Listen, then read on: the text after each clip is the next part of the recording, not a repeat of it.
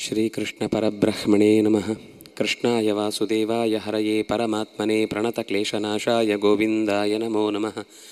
कृष्णाय वासुदेवाय देवकी नन्दनाय च नन्दगोपकुमाराय गोविन्दाय नमो नमः। कृष्णाय यादवेन्द्राय ज्ञानमुद्राय योगिने नाथाय रुक्मिणीशाय नमो वेदान्तवेदिने ಬುದ್ಧಿರ್ಬಲಂ ಯಶೋಧೈರ್ಯಂ ನಿರ್ಭಯತ್ವಮರೋಗತ ಅಜಾಡ್ಯಂ ವಾಕ್ಪಟುತ್ವಂಚ ಹನುಮತ್ಸ್ಮರಣಾತ್ ಭವೇದ್ ಶ್ರೀ ಹನುಮತೇ ನಮಃ.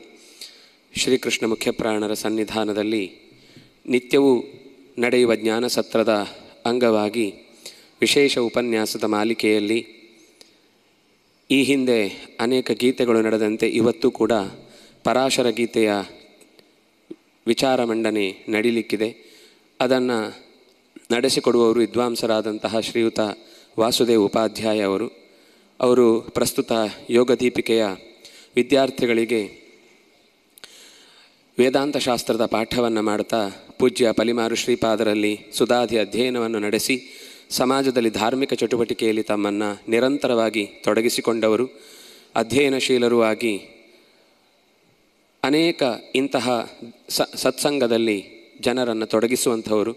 ಅವರನ್ನು ನಾನು ಶ್ರೀಮಠದ ಪರವಾಗಿ, ನಿಮ್ಮೆಲ್ಲರ ಪರವಾಗಿ ಸ್ವಾಗತಿಸ್ತಾ ಇದ್ದೇನೆ. ಈ ಕಾರ್ಯದ ಅರ್ಪಣೆಯನ್ನು ಭಗವಂತನಿಗೆ ನಡೆಸುವುದಕ್ಕಾಗಿ ಶ್ರೀಪಾದರು ಸರ್ವಜ್ಞ ಪೀಠದ ಸಂದೇಶವನ್ನು ಕೂಡ ನೀಡಬೇಕು. ಅವರನ್ನು ಕೇಳಿಕೊಳ್ತಾ ನಿಮ್ಮೆಲ್ಲರನ್ನು ಸ್ವಾಗತಿಸ್ತಾ ಈ ಕಾರ್ಯಕ್ರಮದ ಸದುಪಯೋಗ ಪಡೆದುಕೊಳ್ಳಬೇಕು ಅಂತ ಕೇಳಿಕೊಳ್ತಾ ನಮಸ್ಕಾರಗಳು. श्रीगुरुभ्यो नमः। हरिः ॐ व्यासाय भवनाशाय श्रीशाय गुणराशये, हृद्याय शुद्धविद्याय मध्वाय च नमो नमः। अनेन तत्पद्मभवो मृदङ्गं जगौ हनुमान् जगतामदीशम् अदर्शयत्तालगतिः कपर्दीननर्तगोपालकबालमौलिः ख्यातः सदा प्रवचनाद्विदुषां वरं तं वंदे यतीन्द्रतिलकं विबुधप्रियाख्यम् आपादमौलिपर्यन्तं गुरूणाम् आकृतिं स्मरेत्। तेन विघ्नाः प्रणश्यन्ति, सिद्ध्यन्ति च मनोरथाः। श्रीगुरुभ्यो नमः। हरिः ॐ श्रीकृष्णाय नमः। श्री श्रीकृष्णाय नमः। श्री श्रीकृष्णाय नमः। श्री श्रीकृष्णाय नमः। श्री श्रीकृष्णाय नमः। श्री श्रीकृष्णाय नमः। श्री श्रीकृष्णाय नमः श्री श्रीकृष्णाय नमः श्री श्रीकृष्णाय नमः श्री श्रीकृष्णाय नमः श्री श्रीकृष्णाय नमः श्री श्रीकृष्णार्पणम् अस्तु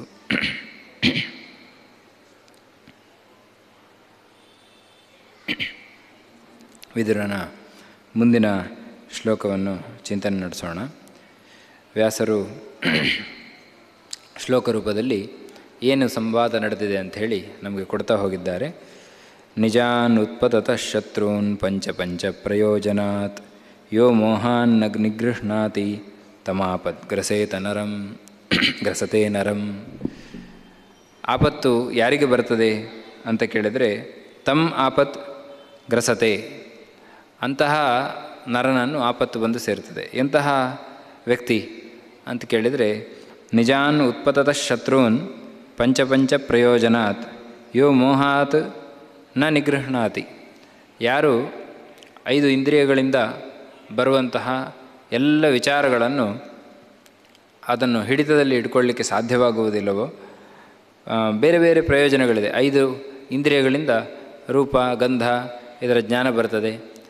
ಕಿವಿಯಿಂದ ಏನು ಮಾತಾಡ್ತಿದ್ದಾರೆ ಅನ್ನುವ ಜ್ಞಾನ ಬರ್ತದೆ ಶಬ್ದಜ್ಞಾನ ಬರ್ತದೆ ಆನಂತರ ರುಚಿಯ ಜ್ಞಾನ, ಇದೆಲ್ಲ ಬರ್ತದೆ. ಐದು ಪ್ರಯೋಜನಗಳಿವೆ ಅದಕ್ಕೆ. ಆ ಐದು ಇಂದ್ರಿಯಗಳನ್ನು ಯಾರು? ನ ನಿಗ್ರಹಣಾತಿ ಯಾರು? ಮೋಹಯುಕ್ತನಾಗಿ, ಇನ್ನೂ ಬೇಕು, ಮತ್ತು ಬೇಕು ಅನ್ನುವ ಚಿಂತನೆಯಲ್ಲಿ ಮುಳುಗಿ, ಅದನ್ನು ಯಾರು ಹಿಡಿತದಲ್ಲಿಟ್ಕೊಳ್ಳಿಕ್ಕೆ ಆಗುವುದಿಲ್ಲವೋ ಅವನಿಗೆ ಆಪತ್ತುಗಳು ಬಂದು ಸೇರಿಕೊಳ್ತವೆ. ಗ್ರಸತೆ ನರಂ. ಅವನನ್ನು ಬಂದು ಆಪತ್ತು ಅಪ್ಪಿಕೊಳ್ತದೆ ಅನ್ನುವ ಮಾತನ್ನು ಹೇಳ್ತಾ, ಮತ್ತು ದುರಾತ್ಮರು ಹೇಗಿರ್ತಾರೆ? ದುರಾತ್ಮರನ್ನು ನೋಡಿದಾಗ, ಪ್ರಾಯ ಒಳ್ಳೆಯ ಸಚೇತನರು ಅಂತಾದರೂ ಕೂಡ ಯಾವುದೋ ಒಂದು ಕಾಲದಲ್ಲಿ ನಾವು ಮಾತಾಡೋದಿದೆ, ಅಸರಾವೇಶ ಆಗಿದೆ ಅವನಿಗೆ ಅಂತ. ಅಂದರೆ ಒಳ್ಳೆ ಇರ್ತಾರೆ, ಚೆನ್ನಾಗಿರ್ತಾರೆ. ಯಾವುದೋ ಒಂದು ಸಮಯದಲ್ಲಿ ಅವರು ಎಲ್ಲ ಹೇಳಿದ್ದು ತಪ್ಪು, ಯಾವಾಗಲೂ ಸಿಟ್ಟು ಮಾಡಿಕೊಂಡು, ಆ ದಿನ ಇಡೀ ಸಿಟ್ಟು ಮಾಡಿಕೊಂಡು, ಹಾಗೆ ಇರುವುದು ಅಂತಿದೆ. ಅದು ಯಾಕೆ ಅಂತ ಕೇಳಿದರೆ ಪ್ರಾಯ ಆ ಪರಿಸರದ ಒತ್ತಡಕ್ಕೆ ಸಿಲುಕಿ ಯಾವುದೋ ಒಂದು ಸಮಯದಲ್ಲಿ ಹಿಡಿತವನ್ನು ತಪ್ಪಿ ತಪ್ಪಿ ಹೋದರೆ, ಆ ಇಂದ್ರಿಯಗಳ ಮೇಲಿರುವ ಹಿಡಿತ ತಪ್ಪಿ ಹೋದಾಗ ಎಲ್ಲ ಹೊರಗೆ ಬರ್ತದೆ ಆದ್ದರಿಂದ ಅದನ್ನು ಆದಷ್ಟು ನಾವು ಎದುರಿರುವ ವಸ್ತುವಲ್ಲಿ ಸತ್ಯ ಇಷ್ಟೇ ಪ್ರಪಂಚದ ಒಂದು ಸೀಮೆ ಅನ್ನುವುದನ್ನು ಅರಿತುಕೊಂಡು ಆ ನಂತರ ನಿ ಅದನ್ನು ಸ್ವೀಕಾರ ಮಾಡಬೇಕು ಅಂತ. ಯಾವುದೋ ಒಂದು ಕಷ್ಟಪಟ್ಟು ನಿಗ್ರಹ ಮಾಡುವುದು. ಅಂದರೆ ನೋಡಬಾರ್ದು ನೋಡಬಾರ್ದು ಅನ್ನುವ ಇಚ್ಛೆ ಇಟ್ಟುಕೊಂಡು ನೋಡದೇ ಇರುವುದು ಅಂತ ಮಾಡಿದರೆ ಯಾವುದೋ ಒಂದು ಸಮಯದಲ್ಲಿ ಅದನ್ನು ಮೀರಿ ಹೋಗುವ ಸಾಧ್ಯತೆಗಳಿದೆ. ಅದು ಹೀಗೆ ಇಷ್ಟೇ. ಅದರಿಂದ ಏನು ಪ್ರಯೋಜನ ಇಲ್ಲ ಅಂತ ತಿಳ್ಕೊಂಡು ಬಿಡುವುದು ಅದು ನಿಜವಾದ ನಿಗ್ರಹ ಅಂತ ಅನ್ನಿಸ್ಕೊಳ್ತದೆ. ಹಾಗಾಗಿ ಸಾಮಾನ್ಯವಾಗಿ ಒಬ್ಬನನ್ನು ನೋಡಿದಾಗ ಅವನು ನಿರಂತರವಾಗಿ ಅವನ ಆ ವ್ಯಕ್ತಿತ್ವ ಯಾವ ರೀತಿ ಇದೆ ಅವನು ನಿರಂತರವಾಗಿ ಯಾವ ರೀತಿ ಇರ್ತಾನೆ ಅಂತ ನೋಡಿ ಅವನು ದುರಾತ್ಮನೋ ಅಥವಾ ಆ, ಸಚಾರಿತ್ರ್ಯವುಳ್ಳವನು ಅಂತ ತೀರ್ಮಾನ ಮಾಡಬಹುದು ಅಂತ ಹೇಳ್ತಾರೆ. ಆದರೂ ಕೂಡ ಅವನ ಜೀವಯೋಗ್ಯತೆಯನ್ನು ಹೇಳುವಂಥದ್ದಲ್ಲ. ಅಂತೂ ಪರಿಸರ ಈಗ ಸದ್ಯಕ್ಕೆ ಹೀಗಿದ್ದಾನೆ ಅಂತ ತಿಳ್ಕೊಳ್ಬೋದು. ಯಾರೂ ಕೂಡ ಇವರಿಷ್ಟೇ ಅಂತ ನಾವು ನಿರ್ಧಾರ ಮಾಡಲಿಕ್ಕಿಲ್ಲ. ಯಾರು ಸಾಧಕರು ಯಾರು ಯಾವಾಗಲೂ ಮೋಹಯುಕ್ತರಾಗಿರ್ತಾರೆ ಅದನ್ನು ನಾವು ಹೇಳಲಿಕ್ಕಾಗುವುದಿಲ್ಲ. ಅಂತೂ ಸಾಧಾರಣವಾಗಿ ತಿಳ್ಕೊಳ್ಬೋದು. ರಾಜ ಅಂತೂ ಇವರನ್ನು ನೋಡಿ ಅವನು ನನಗೆ ಈಗಕ್ಕೆ ಬೇಕೋ ಅಥವಾ ದೂರ ಇಡಬೇಕು ಅನ್ನೋದನ್ನು ನಿರ್ಧಾರ ಮಾಡಬೇಕು ಅನ್ನುವುದನ್ನು ಹೇಳ್ತಾನೆ. ನಾವು ಕೂಡ ನಮ್ಮ ಯಾವುದೋ ಒಂದು ಕೆಲಸ ಮಾಡುವಾಗ ಅವರನ್ನು, ಅವರ ದಿನದ ಅಭ್ಯಾಸಗಳನ್ನು ನೋಡಿ ಅವರನ್ನು ಇಟ್ಕೊಳ್ಬೇಕೋ ಅಥವಾ ದೂರ ಇಡಬೇಕು ಅನ್ನೋದನ್ನು ನಿರ್ಧಾರ ಮಾಡಬೇಕು ಅನ್ನೋದು ಆ ವಿದುರನ ಅಭಿಪ್ರಾಯ. ಅನಸೂಯಾರ್ಜವಂ ಶೌಚಂ ಸಂತೋಷ ಪ್ರಿಯವಾದಿತ ದಮಸ್ಸತ್ಯಮನಾಯಾಸೋ ಸತ್ಯಮನಾಯಾಸೋ ನಭವಂತಿ ದುರಾತ್ಮನಾಂ ಅಂತ ಮುಂದಿನ ವಾಕ್ಯದಲ್ಲಿ ಬೇರೆಯವರನ್ನು ನೋಡಿದ ಕೂಡಲೇ ನನ್ನಲ್ಲಿ ಇಲ್ಲ ಅಂತ ಕೊರಗುವುದು.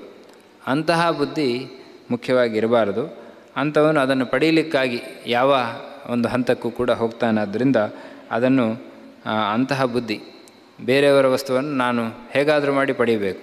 ಅದರ ಬಗ್ಗೆ ಮತ್ಸರ, ಅದು ಇರಬಾರ್ದು. ಅಂಥವನು ಸಚ್ಚಾರಿತ್ರ್ಯ ಉಳ್ಳವನು ಅಂತ ಅನ್ನಿಸ್ಕೊಳ್ತಾನೆ, ಸಾತ್ವಿಕ ಅಂತ ಅನ್ನಿಸ್ಕೊಳ್ತಾನೆ. ಆರ್ಜವಂ, ನೇರವಾದ ನಡೆ ಎಲ್ಲಿಯೂ ಕೂಡ ಸುಳ್ಳನ್ನು ಹೇಳದೆ ತಾನು ಎಷ್ಟು, ಎಷ್ಟಕ್ಕೆ ಅರ್ಹನೋ ಅಷ್ಟನ್ನು ಮಾತ್ರ ಪಡೆಯುವ ಬಯಕೆ ಉಳ್ಳವನಾಗಿ ಶೌಚಂ, ಮಾನಸಿಕ ಶುಚಿತ್ವ ಮತ್ತು ದೈಹಿಕ ಶುಚಿತ್ವ ಎಲ್ಲವೂ ಕೂಡ ಇರಬೇಕು. ಶೌಚ ಅಂದರೆ ಎರಡೂ ಬಂತು. ಸಂತೋಷ ಯಾವಾಗಲೂ ಕೂಡ ಏಕರೀತಿಯಾಗಿ ಇರುವುದು. ಯಾವುದೇ ಒಂದು ಸಂದರ್ಭದಲ್ಲಿ ಕೂಡ ದೇವರು ಕೊಟ್ಟಿದ್ದಾನೆ, ಚೆನ್ನಾಗಿದೆ ಅಂತ ಹೇಳಿ ಅದರಲ್ಲಿ ತೃಪ್ತಿ ಪಡುವಂತಹ ಭಾವ ಇರಬೇಕು. ಪ್ರಿಯವಾದಿತ, ಯಾರು ಎದುರಿನಲ್ಲಿ ಬರ್ತಾನೋ ಅವನು ಒಂದೇ ದಿವಸ ಸಿಗಬಹುದು ನಮಗೆ. ಆದರೆ ನಮ್ಮ ಸಿಟ್ಟನ್ನು ಅವನ ಮೇಲೆ ತೋರಿಸಿದರೆ ಏನು ಪ್ರಯೋಜನ ಇಲ್ಲ. ಹಾಗಾಗಿ ಬಂದವನ ಒಳಗೂ ಕೂಡ ಭಗವಂತ ಇರ್ತಾನೆ. ಅಥವಾ ನಮ್ಮ ಯಾರು ಎದುರುಗಡೆ ಸಿಗ್ತಾರೋ ಅವರೆಲ್ಲರೂ ಕೂಡ ರಾಜ ಅಂತ ಹೇಳಿದರೆ ದಿನಕ್ಕೆ ತುಂಬ ಜನ ಬರ್ತಾರೆ. ತುಂಬ ಜನ ತುಂಬ ಅಪೇಕ್ಷೆಗಳನ್ನು ಎದುರಿನಲ್ಲಿ ಇಡ್ತಾರೆ. ಆನಂತರ ಅದನ್ನೆಲ್ಲ ಸಮಾಧಾನ ಮಾಡಿ ಅವರಿಗೆ ಬೇಕಾದ ಉತ್ತರವನ್ನು ಕೊಡಬೇಕಾದ ಸಂದರ್ಭಗಳು ಬರ್ತವೆ. ಅಂತೂ ಅವನಿಗೆ ನೇರವಾಗಿ ಬರದೇ ಇದ್ದರೂ ಕೂಡ ಅವನ ಕೆಳಗೆ ತುಂಬ ಅಧಿಕಾರಿಗಳಿರ್ತಾರೆ. ಅವರಿಗೆ ಆ ವಿಷಯ ಬರ್ತದೆ. ಕಡೆಗೆ ತುಂಬ ಮುಖ್ಯವಾದ್ದು ಅಂತಾದರೆ ಇವರ ಕಾನೂನಿನಲ್ಲಿ ಒಂದು ಈ ರೀತಿಯಕ್ಕೆ ಈ ರೀತಿಯ ಪರಿಹಾರ ಅಂತ ಇರ್ತದೆ. ಅಲ್ಲೆಲ್ಲ ಕಡೆಯೂ ಕೂಡ ಆ ವ್ಯಕ್ತಿಗಳಲ್ಲಿಯೂ ಇರಬೇಕು. ಕಡೆಗೆ ತುಂಬ ಮುಖ್ಯವಾದ್ದು ಅಂತಾದರೆ ರಾಜನ ಬಳಿಗೆ ಬರ್ತದೆ. ಆವಾಗಲೂ ಕೂಡ ಅವನು ಪ್ರಿಯವಾದಿ, ಒಳ್ಳೆಯ ಮಾತನಾಡುವವನು ಆಗಿರಬೇಕು. ಎಲ್ಲರಿಗೂ ಕೂಡ ಅದು ಹಿತ ತರುವಂತೆ ಅಂತಹ ವಾಕ್ಯಗಳಿಂದ ಅವರನ್ನು ಹೇಳಬೇಕು. ಇದು ಯಾಕೆ ಇದು ಯಾಕೆ ಅಂತ ಹೇಳಿ ಅಂತಹ ನ್ಯಾಯ ಕೊಡುವಲ್ಲಿ ಅವನು ಪ್ರವೃತ್ತನಾಗಬೇಕು. ಅಥವಾ ಯಾರೋ ಒಬ್ಬರು ಬಂದರು, ಬಂದ ಕೂಡಲೇ ಯಾವುದೋ ಹಿಂದಿನ ಕೋಪ ಎಲ್ಲ ಅವರ ಮೇಲೆ ತೆಗೆದುಕೊಳ್ಳಿಕ್ಕೆ ಆಗುವುದಿಲ್ಲ. ಅವರ ಮೇಲೆ, ಅವರು ಬಂದಾಗ ಅವರ ಹತ್ರ ಮಾತಾಡಲಿಕ್ಕೆ ಆಗುವುದಿಲ್ಲ. ಅವರಲ್ಲಿ ಚೆನ್ನಾಗಿ ಮಾತಾಡಿ ಕಳಿಸುವಂತಹ ಅಷ್ಟು ತಾಳ್ಮೆ ಅವನಲ್ಲಿ ಇರಬೇಕು. ದಮಹ ದಮಹ ಅಂದರೆ ಮತ್ತೆ ಇಂದ್ರಿಯ ನಿಗ್ರಹ ಅಂತಲೇ ಅರ್ಥ. ಸತ್ಯಂ ಮಾತನಾಡುವಾಗ ಯಾವುದು ಹಿತವೋ ಸಜ್ಜನರಿಗೆ ಅಂತಹ ಮಾತನ್ನಾಡಬೇಕು. ಅನಾಯಾಸ ಎಷ್ಟೇ ಒಂದು ಕಾರ್ಯ ಒತ್ತಡ ಇದ್ದರೂ ಕೂಡ ಅದು ಕರ್ತವ್ಯ ಅನ್ನುವ ರೂಪದಲ್ಲಿ ಅದನ್ನು ಸ್ವೀಕಾರ ಮಾಡುವಂತಹ ತಾಳ್ಮೆ ಬೇಕು. ಅದನ್ನು ಮುಂದುವರಿಸಿಕೊಂಡು ಹೋಗಬೇಕು. ಅಥವಾ ಇವತ್ತು ಮಾಡುವುದು, ನಾಳೆ ಅಯ್ಯೋ ಆಗೋದೇ ಇಲ್ಲ ಅಂಥೇಳಿ ಮಧ್ಯದಲ್ಲಿ ಬಿಟ್ಟು ಹೋಗ್ಲಿಕ್ಕೆ ಆಗುವುದೇ ಇಲ್ಲ. ಅಂತಹ ರಾಜನ ಕರ್ತವ್ಯ ಅಂದರೆ ಹಾಗೆ. ಅದು ಮಧ್ಯದಲ್ಲಿ ಎರಡು ದಿವಸ ಇಲ್ಲ, ನನಗೇನೂ ಆಗುವುದಿಲ್ಲ, ಯಾರನ್ನು ನೋಡುವುದಿಲ್ಲ ಅಂತ ಹೇಳಿ ರಜೆ ಹಾಕಿದೆ ಅಂತ ಹೇಳುವಾಗಿಲ್ಲ ಅದು ರಾಜನಿಗೆ ರಜೆ ಎನ್ನುವುದೇ ಇಲ್ಲ ಪ್ರಾಯ. ಹಾಗಾಗಿ ಯಾವತ್ತಿದ್ದರೂ ಕೂಡ ಆ ಆಯಾಸ ಎಂಬುದು ಇರಬಾರ್ದು. ಇದೆಲ್ಲ ದುರಾತ್ಮರಲ್ಲಿ ಇರುವುದಿಲ್ಲ ಅಂತ ಹೇಳ್ತಾ ಇದ್ದಾನೆ. ಇದೆಲ್ಲ ಇರಬೇಕು, ಇದೆಲ್ಲ ರಾಜನಲ್ಲಿ ಇರಬೇಕಾದ ಗುಣಗಳು, ಅದು ಸಾತ್ವಿಕ ರಾಜನಲ್ಲಿ ಇರಲೇಬೇಕಾದ ಗುಣ, ಅದು ದುಷ್ಟರಾಜರಲ್ಲಿ ಇರುವುದಿಲ್ಲ. ಅಸೂಯೆ ಆರ್ಜವ ಇಲ್ಲದೆ ಇರುವಿಕೆ ಶುಚಿತ್ವ ಇಲ್ಲದೆ ಇರುವಿಕೆ ಅಂತೆಲ್ಲ ಇದ್ದರೆ ಅವನನ್ನು ದುಷ್ಟ ಅಂತ ಕರೆಯಬಹುದು ಅಂತ ಹೇಳ್ತಿದ್ದಾನೆ. ಮತ್ತು ಮುಂದೆ, ಆತ್ಮಜ್ಞಾನಂ ಅನಾಯಾಸ ತಿತಿಕ್ಷಾ ಧರ್ಮನಿತ್ಯತ ವಾಕ್ಚೈವ ಗುಪ್ತಾಂ ದಾನಂ, ಗುಪ್ತಾದಾನಂ ಚ, ನ ಏತಾನ್ಯನ್ಯೇಷು ಭಾರತ ಅಂತ ಏತಾನಿ, ಇದೆಲ್ಲ ಅನ್ಯೇಷು ದುಷ್ಟರಲ್ಲಿ ಇರುವುದಿಲ್ಲ. ಯಾವುದಿರ್ತದೆ ಸಜ್ಜನರಲ್ಲಿ ಅಂತ ಕೇಳಿದರೆ, ಭಗವಂತನ ಬಗ್ಗೆ ಚಿಂತನೆ ಇರಬೇಕು. ಧರ್ಮ, ಅಧರ್ಮಗಳ ಕಾಳಜಿ, ಅದನ್ನು ರಕ್ಷಣೆ ಮಾಡುವ, ಧರ್ಮವನ್ನು ರಕ್ಷಣೆ ಮಾಡುವ ಅಧರ್ಮವನ್ನು ದೂರ ಮಾಡುವ ಕಾಳಜಿ ಇರುವವನಾಗಬೇಕು ಭಗವದ್ಜ್ಞಾನ ಪಡೆಯಬೇಕು ಅನ್ನೋ ಇಚ್ಛೆ ಇರಬೇಕು. ಆ ನಂತರ ಆ, ಅನಾಯಾಸ ಮತ್ತೆ ಅದೇ ಪದ ಬಂದಿದೆ. ಅವನು ಮತ್ತಷ್ಟು ಕಾರ್ಯದಲ್ಲಿ ತ ತಲ್ಲೀನನಾಗಿ ಆ ಕೆಲಸವನ್ನು ಮಾಡ್ತೇನೆ ಅನ್ನುವ ಇಚ್ಛೆ ಉಳ್ಳವನಾಗಿ ಮತ್ತೆ ಮತ್ತೆ ತೊಡಗಿಸ್ಕೊಳ್ತಾ ಇರಬೇಕು. ತಿತಿಕ್ಷಾ ತಾಳ್ಮೆ ಇರಬೇಕು. ಎಷ್ಟೇ ಒತ್ತಡಗಳಿದ್ದರೂ ಕೂಡ ಸಮಾಧಾನದಲ್ಲಿ ಪರಿಹಾರ ಮಾಡಿಕೊಂಡು ಹೋಗುವಂಥ ತಾಳ್ಮೆ ಬೇಕಾಗ್ತದೆ. ಧರ್ಮ ನಿತ್ಯತ, ನಿತ್ಯದಲ್ಲಿ ಧರ್ಮ ಕಾರ್ಯಗಳು ಅದೇ ರೀತಿ ಧರ್ಮಾಚರಣೆಯಲ್ಲಿ ಶ್ರದ್ಧೆ ಇದೆಲ್ಲ ಇಟ್ಟುಕೊಂಡು ವಾಕ್ಚೈವ ಮಾತು ಮಾತು ಎಂಬುದು ತುಂಬ ಚೆನ್ನಾಗಿರಬೇಕು ಅಂತ ಹಿಂದೆ ಹೇಳಿದ್ದಾನೆ. ಯಾವುದನ್ನು ಹೇಳಬೇಕು? ಒಂದು ಇಷ್ಟೇ ಹೇಳಿದರೆ ಸಾಕು ಅಂತ ಇರ್ತದೆ. ಅದಕ್ಕಿಂತ ತುಂಬ ಹೆಚ್ಚು ಕೂಡ ಹೇಳುವುದಲ್ಲ ಅಂತ.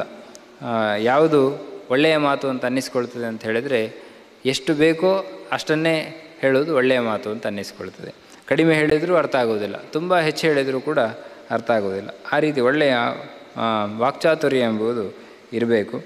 ದಾನ ಮಾಡಬೇಕು. ಮತ್ತು ಗುಪ್ತವಾಗಿ ಮಾಡಬೇಕು ಅಂತ ಹೇಳ್ತಿದ್ದಾನೆ ವಿದುರ. ಹೆಚ್ಚು ತೋರಿಕೆಗಾಗಿ ದಾನ ಅಲ್ಲ, ನಿಜವಾದ ಒಂದು ಕಾಳಜಿ ಇಟ್ಟು ದಾನವನ್ನು ಮಾಡಬೇಕು. ಇದು ಸಜ್ಜನರ ಲಕ್ಷಣ. ದುರ್ಜನರಲ್ಲಿ ಇದೆಲ್ಲ ಇರುವುದಿಲ್ಲ ಅಂತ. ದುರ್ಜನರು ಹೇಗಿರ್ತಾರೆ ಹಾಗಾದರೆ ಅಂತ ಕೇಳಿದರೆ ಅದಕ್ಕೆ ಹೇಳ್ತಾ ಇದ್ದಾನೆ. ಆಕ್ರೋಶ ಪರಿವಾದಾಭ್ಯಾಂ ವಿಹಿಂಸಂತಿ ಅಬುದಾಬುದಾನ್. ಒಳ್ಳೆಯ ಜ್ಞಾನಿಗಳನ್ನೆಲ್ಲ ಈ ಅಸಜ್ಜನರು ಹಿಂಸಿಸ್ತಾರಂತೆ. ಹೇಗೆ ಅಂತ ಕೇಳಿದರೆ ಅವರ ಮೇಲೆ ಕೋಪ ಮಾಡಿಕೊಳ್ಳುವುದರಿಂದ ಅಥವಾ ಮಾತಿಗೆ ಮಾತು ಬೆಳೆಸಿ ಗಲಾಟೆ ಮಾಡುವುದರಿಂದ ಇದೆಲ್ಲ ಮಾಡಿ ವಿಹಿಂಸಂತಿ. ಅವರನ್ನು ತುಂಬ ತೊಂದರೆ ಕೊಟ್ಟು ಒಳಪಡಿಸ್ತಾರೆ. ವಕ್ತಾ ಪಾಪ ಉಪಾದತ್ತೆ ಕ್ಷಮ ಮಾಡೋ ವಿಮುಚ್ಯತೆ. ಮತ್ತು ತುಂಬ ಈ ರೀತಿ ಕೆಟ್ಟ ವಿಷಯಗಳನ್ನೇ ಮಾತಾಡುವವನು. ಅವನು ಪಾಪವನ್ನು ಹೊಂದ್ತಾನೆ ಹಾಗಾಗಿ ಅದನ್ನು ಮಾಡಬಾರ್ದು. ಮತ್ತು ಯಾರು ಕ್ಷಮೆ ಕೊಡುವವನ ಇದ್ದಾನೋ ಅಂಥವನು ವಿಮುಚ್ಯತೆ. ಎಲ್ಲವನ್ನು ಕೂಡ ಮುಕ್ತಿ, ಮುಕ್ತಿಯನ್ನು ಹೊಂದಲಿಕ್ಕೆ ಸಾಧ್ಯವಾಗ್ತದೆ ಅನ್ನೋ ಮಾತನ್ನು ಹೇಳ್ತಾನೆ. ಅಂದರೆ ಕ್ಷಮಾಗುಣ ರಾಜನಲ್ಲಿ ಇರಬೇಕು. ಮತ್ತು ತುಂಬ ಹೆಚ್ಚು ಏನೋ ಅಧಿಕಾರ ಇದೆ ಅಂತ ಹೇಳಿ ಮಾತಾಡಬಾರ್ದು ಅನ್ನುವ ಸಲಹೆಯನ್ನು ವಿದುರ ಮಾಡ್ತಾ ಇದ್ದಾನೆ.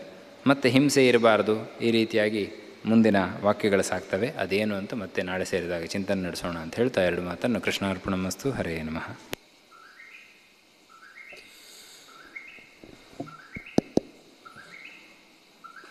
ಮಹಾಭಾರತದಲ್ಲಿ ಬಂದಿರುವ ಆಜಗರ ಗೀತೆಯ ಚಿಂತನೆಯನ್ನು ನಮಗೆ ನೀಡಲಿಕ್ಕಿರುವವರು ಶ್ರೀಯುತ ವಾಸುದೇವ್ ಉಪಾಧ್ಯಾಯ ಅವರು, ಸಾಮಾನ್ಯ ಉಡುಪಿಯ ಈ ರಥಬೀದಿಯ ಪರಿಸರದಲ್ಲಿ ಬೇಸಿಗೆಯಲ್ಲಿ ನಡೆಯುವ ಶಿಬಿರದ, ಅದು ಪರಿಮಾರ ಮಠದಲ್ಲಿ ನಡೆಯುವ ಶಿಬಿರದ ಮುಂದಾಳಾಗಿ ಅನೇಕ ಮಕ್ಕಳಿಗೆ ಪ್ರೇರಣಾ ಶಕ್ತಿಯಾಗಿ ತಮ್ಮ ಕಾರ್ಯವನ್ನು ನಿರ್ವಹಿಸಿದವರು. ಹಿರಿಯರಿಗೂ, ಎಲ್ಲ ವರ್ಗದವರಿಗೂ ಮುಟ್ಟುವವರು. ಅವರು ಈ ಗೀತೆಯ ಅಜಗರ ಅಂತನ್ನೋದು, ಹೆಬ್ಬಾವು. ಹೆಬ್ಬಾವಾಗಿ ಬಿದ್ದ ಆಜಗರ ಹೇಗೆ ತಾನು ಜಗತ್ತನ್ನು ಕಂಡ ಜಗತ್ತಿನ ಸತ್ಯವನ್ನು ನಮ್ಮ ಮುಂದೆ ಆವಿಷ್ಕರಿಸಿದ ಅನ್ನೋದನ್ನು ಈ ಗೀತೆ ನಮ್ಮ ಮುಂದೆ ಪ್ರಸ್ತುತಪಡಿಸುತ್ತೆ ಅದನ್ನು ನಡೆಸಿಕೊಡಬೇಕು ಅಂತ ಕೇಳಿಕೊಳ್ತೇನೆ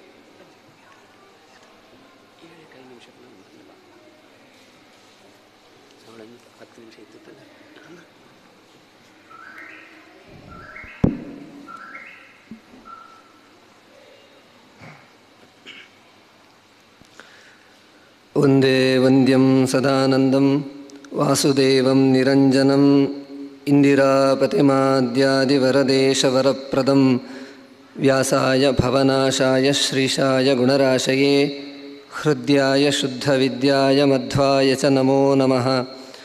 निर्दोषशुक्लवज्राङ्गभैष्मीमध्वकरार्चित ज्ञानभक्तिविरक्तिञ्च देहि मे कृष्णसत्प्रभो। स्वर्णशिखरत्रिकभासुरे विमाने भासते कृष्णः सर्वमूलसुभास्वरे। नमो भगवते तस्मै व्यासायामिततेजसे यस्य प्रसादाद् वक्ष्यामि नारायणकथामिमां हयग्रीव हयग्रीव हयग्रीवेति यो वदेत्। तस्य निस्सरते वाणी जह्नुकन्याप्रवाहवत् नमस्ते प्राणेशप्रणतविभवायावनिमगाः। नमः स्वामिन् रामप्रियतमहनूमन् गुरुगुण नमस्तुभ्यं भीमप्रबलतमकृष्णेष्टभगवन् नमः श्रीमन्मध्वप्रदिश सुदृशं नो जय जय। नमो वस्तात्विका देवाः विष्णुभक्तिपरायणाः, धर्ममार्गे प्रेरयन्तु भवन्तः सर्व एव हि। तपो विद्याविरक्त्यादिसद्गुणौ घाकरानहं, वादिराजगुरून् वंदे हयग्रीवपदाश्रयान्, पूज्याय राघवेन्द्राय सत्यधर्मरताय च। भजतां कल्पवृक्षाय नमतां कामधेनवे ब्रह्मचर्यहरिप्रीतिसुविद्यावादशालिनः इष्टदान् कष्टहर्तॄन्नः विद्यामान्यान् मुनीन् नमः। विश्ववन्दितपादाब्ज, विश्वसंस्तुतसद्गुणां, नमस्ते विश्वविद्याय, विश्वदीनसुबन्धवे। विद्यावारिनिधेर्नश्च मनोभृङ्गालयायितं ವಿದ್ಯಾಧೀಶಗುರೋರ್ನಿತ್ಯಂ ಪಾತು ಶ್ರೀಪಾದಪಂಕಜಂ ಶ್ರೀಗುರುಭ್ಯೋ ನಮಃ ಕೃಷ್ಣನ ಈ ಪವಿತ್ರವಾದಂತಹ ಸನ್ನಿಧಾನದಲ್ಲಿ ಪರ್ಯಾಯ ಮಠಾಧೀಶರಾಗಿರತಕ್ಕಂತಹ ದೊಡ್ಡ ಗುರುಗಳಾಗಿರತಕ್ಕಂತಹ ಶ್ರೀ ಶ್ರೀ ವಿಶ್ವಪ್ರಿಯ ತೀರ್ಥ ಶ್ರೀಪಾದಂಗಳವರ ಚರಣಕಮಲಗಳಲ್ಲಿ ಭಕ್ತಿಪೂರ್ವಕ ಸಾಷ್ಟಾಂಗ ಪ್ರಣಾಮಗಳನ್ನು ಸಲ್ಲಿಸಿ ಸರ್ವಜ್ಞ ಪೀಠಾರೂಢರಾಗಿರತಕ್ಕಂತಹ, ಗುರುಗಳಾಗಿರತಕ್ಕಂತಹ ಶ್ರೀ ಶ್ರೀ ಈಶಪ್ರಿಯತೀರ್ಥ ಶ್ರೀಪಾದಂಗಳವರ ಚರಣಕಮಲಗಳಲ್ಲಿಯೂ ಭಕ್ತಿಪೂರ್ವಕ ಸಾಷ್ಟಾಂಗ ಪ್ರಣಾಮಗಳನ್ನು ಸಲ್ಲಿಸುತ್ತಾ ಮಂದಮತಿಯಾದಂತಹ ನನ್ನ ಪಾಲಿಗೆ ಮಹಾಭಾರತ ಅಂತರ್ಗತ ಆಚಕರ ಗೀತೆಯ ಮಾತುಗಳನ್ನು ಈ ವೇದಿಕೆಯಲ್ಲಿ ಹೇಳಬೇಕು ಅಂತ ಗುರುಗಳು ಆಜ್ಞೆ ಮಾಡಿದ್ದಾರೆ. ಅವರ ಆಜ್ಞೆಯನ್ನು ಶಿರಸಾವಹಿಸಿ ಯಥಾಮತಿಯಾಗಿ ಎರಡು ಮಾತುಗಳನ್ನಾಡುವಂತಹ ಪ್ರಯತ್ನವನ್ನು ನಾನು ಮಾಡ್ತೇನೆ ಅಂತ ಹೇಳ್ತಾ